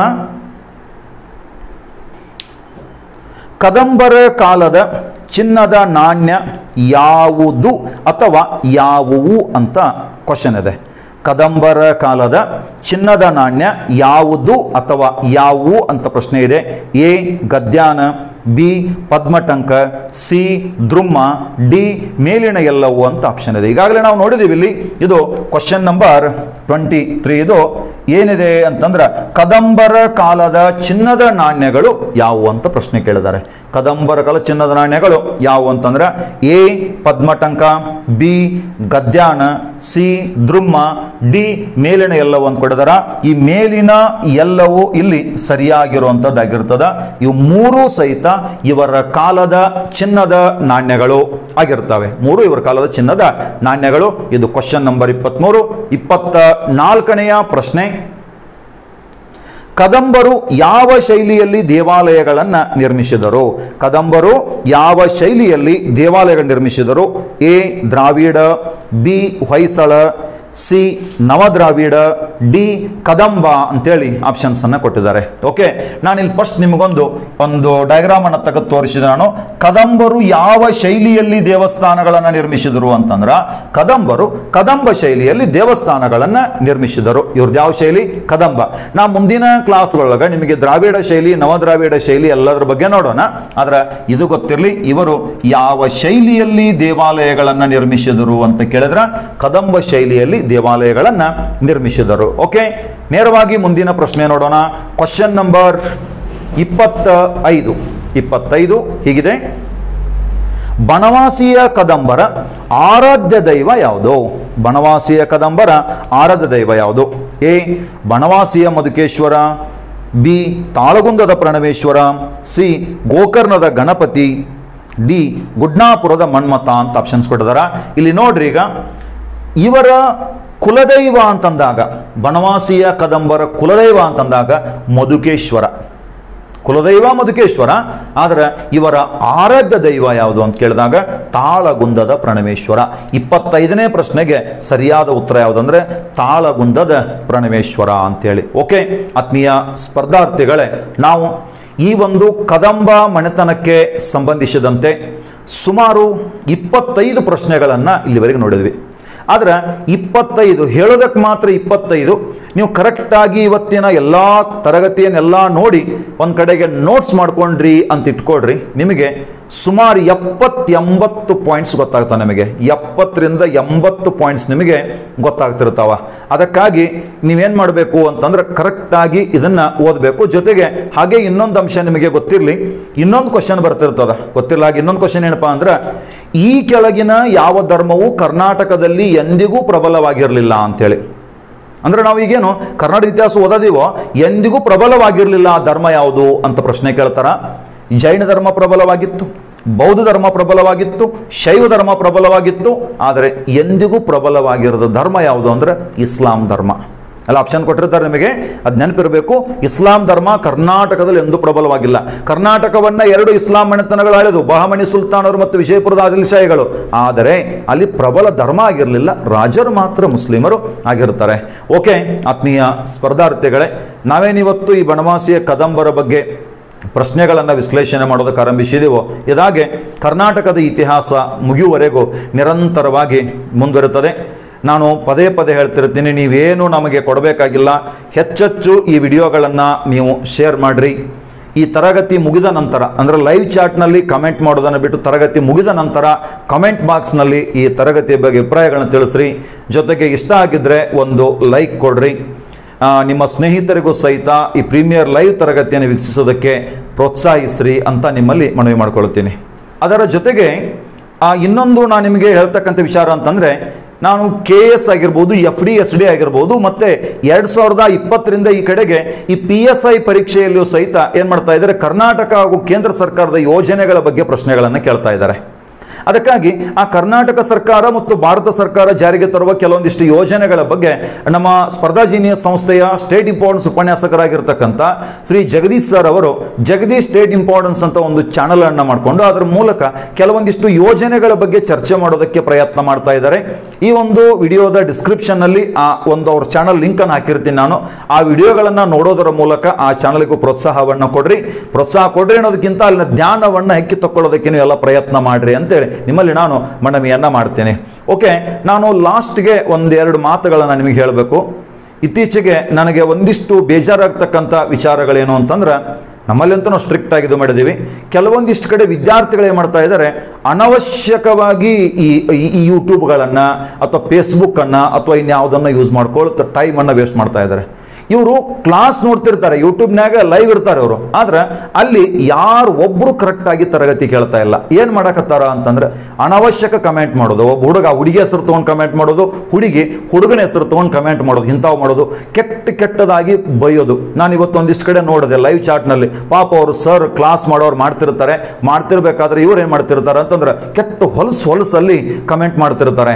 ಅಂಥ ಮನಸ್ಥಿತಿ ಇದ್ದವ್ರು ಎಂದೂ ಉದ್ಧಾರ ಆಗೋದಿಲ್ಲ. ಎಂದೂ ಉದ್ಧಾರ ಆಗೋದಿಲ್ಲ. ಅಂಥವ್ರ ಜೊತೆ ನೀವು ಸೇರಿದ್ರೆ ಅಂದ್ರೆ ನಿಮ್ಮನ್ನು ಉದ್ಧಾರ ಹಾಕೋರು ಬಿಡುದಿಲ್ಲ. ಆದ್ರೆ ನಮ್ಮ ಚಾನಲ್ನಲ್ಲಿ ನೋಡಕತ್ತವರಲ್ಲಿ ಯಾರು ನನಗೆ ಅಂಥವ್ರು ಇಲ್ಲಿವರೆಗೆ ಕಂಡಿಲ್ಲ. ಅಂಥವ್ರು ಕಂಡ್ರು ಅಂತಂದ್ರೆ ನಾನು ತಕ್ಷಣವೇ ಅವರನ್ನು ಬ್ಲಾಕ್ ಮಾಡ್ತೀನಿ.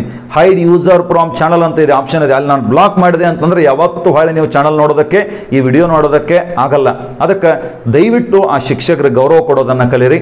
ಅದರ ಜೊತೆಗೆ ಎಲ್ಲ ಶಿಕ್ಷಕರಲ್ಲೂ ಸಹಿತ ಒಂದು ಮನವಿ ಮಾಡ್ಕೊಳ್ತೀನಿ. ನಾನು ಯಾರು ಆನ್ಲೈನ್ ಕ್ಲಾಸ್ ಮಾಡ್ತಾ ಇದ್ರು, ದಯವಿಟ್ಟು ವಿದ್ಯಾರ್ಥಿಗಳಿಗೆ ತಿದ್ದಿ ಬುದ್ಧಿ ಹೇಳ್ತಕ್ಕಂಥ ಕೆಲಸವನ್ನು ನಾವೆಲ್ಲರೂ ಕೂಡಿ ಮಾಡಬೇಕಾಗಿದೆ ಹೊರತು ಅವರು ಆ ರೀತಿ ಮಾಡೋ ಟೈಮ್ನಾಗ ಅವರಿಗೆ ಪ್ರೋತ್ಸಾಹಿಸುವ ಕೆಲಸವನ್ನು ನಾವೆಲ್ಲ ನಿಲ್ಲಿಸಬೇಕಾಗ್ಯದ. ಇದೆಲ್ಲರಿಗೂ ಇರಲಿ. ನೀವು, ನಾವಿಲ್ಲಿ ಶಿಕ್ಷಕರು. ನಾವು ಶಿಷ್ಯಂದಿರನ್ನ ಗಳಿಸಬೇಕಾಗಿದೆ ಹೊರತು ಅವ್ರು ಮಾಡದಂಗೆ ಅವರಿಗೆ ಸುಮ್ ಸುಮ್ಮನೆ ಫ್ರೀ ಬಿಟ್ಟು ನಾವು ಫಾಲೋವರ್ಸ್ ಅನ್ನ ಗಳಿಸ್ಕೊಂಡು ನಾವೇನು ಲೀಡರ್ ಆಗಬೇಕಾಗಿಲ್ಲ. ನಾವಿಲ್ಲಿ ಶಿಷ್ಯಂದಿರಿಗೆ ಒಳ್ಳೆಯ ಜ್ಞಾನವನ್ನ ಕೊಡಬೇಕಾಗ್ಯದ. ನಾವು ರಾಜಕೀಯ ನಾಯಕರಲ್ಲ ಫಾಲೋವರ್ಸ್ ಹುಟ್ಟಾಕೋದಕ್ಕೆ.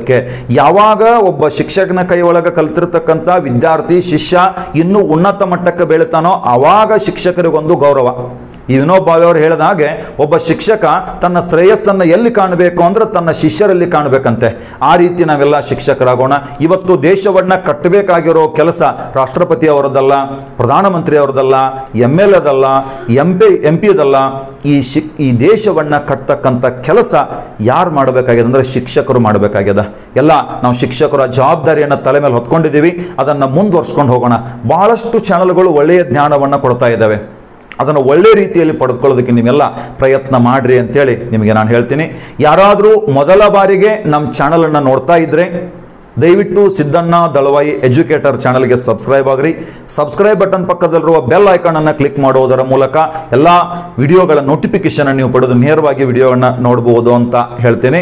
ಜೊತೆಗೆ ಲಾಸ್ಟ್ ಒಂದು ಮಾತು, ಒಂದು ಕಡೆಗೆ ಡಿ ವಿ ಜಿ ಅವ್ರು ಹೇಳ್ತಾರೆ, ಎದ್ದೆದ್ದು ಬೀಳುತ್ತಿಹೆ ಗುದ್ದಾಡಿ ಸೋಲುತ್ತಿಹೆ ಜಗವನ್ನು ಉದ್ಧರಿಸು ಎನ್ನುತ್ತಿಹೆ ನೋಡ್ರಿ ಕರೆಕ್ಟ್ ಅರ್ಥ ಮಾಡ್ಕೊಡ್ರಿ. ಎದ್ದೆದ್ದು ಬೀಳುತ್ತಿಹೆ ಗುದ್ದಾಡಿ ಸೋಲುತ್ತಿಹೆ ಜಗವನ್ನು ಉದ್ಧರಿಸು ಎನ್ನುತ್ತಿಹೆ ಗದ್ದಲವು ತುಂಬಿ ಪ್ರಸಿದ್ಧನಾಗುತ್ತಿಹೆ ನಿನ್ನುದ್ದಾರವೆಷ್ಟಾಯಿತು ಮಂಕುತಿಮ್ಮ ಅಂತ ಕೇಳ್ತಾರೆ. ಎದ್ದೆದ್ದು ಬೀಳುತ್ತಿಹೆ ಗುದ್ದಾಡಿ ಸೋಲುತ್ತಿಹೆ ಗದ್ದಲವು ತುಂಬಿ ಪ್ರಸಿದ್ಧನಾಗುತ್ತಿಹೆ ಜಗವನ್ನು ಉದ್ಧರಿಸು ಎನ್ನುತ್ತಿಹೆ ನಿನ್ನುದ್ದಾರವೆಷ್ಟಾಯಿತು ಮಂಕುತಿಮ್ಮ ಅಂತೇಳಿ ಓಕೆ ನಾ ಯಾಕೆ ಇದನ್ನು ಹೇಳಿದೆ ಅಂತಂದ್ರೆ, ನೀವು ಈ ಜಗತ್ತನ್ನು ಉದ್ಧಾರ ಮಾಡಬೇಕಾಗಿಲ್ಲ. ಅವ್ರದ್ದು ನಿಮ್ಮ ಮೊದಲು ನಿಮ್ಮ ನಿಮ್ಮ ಪಾಡಿ ನೀವು ಉದ್ಧಾರ ಆಗ.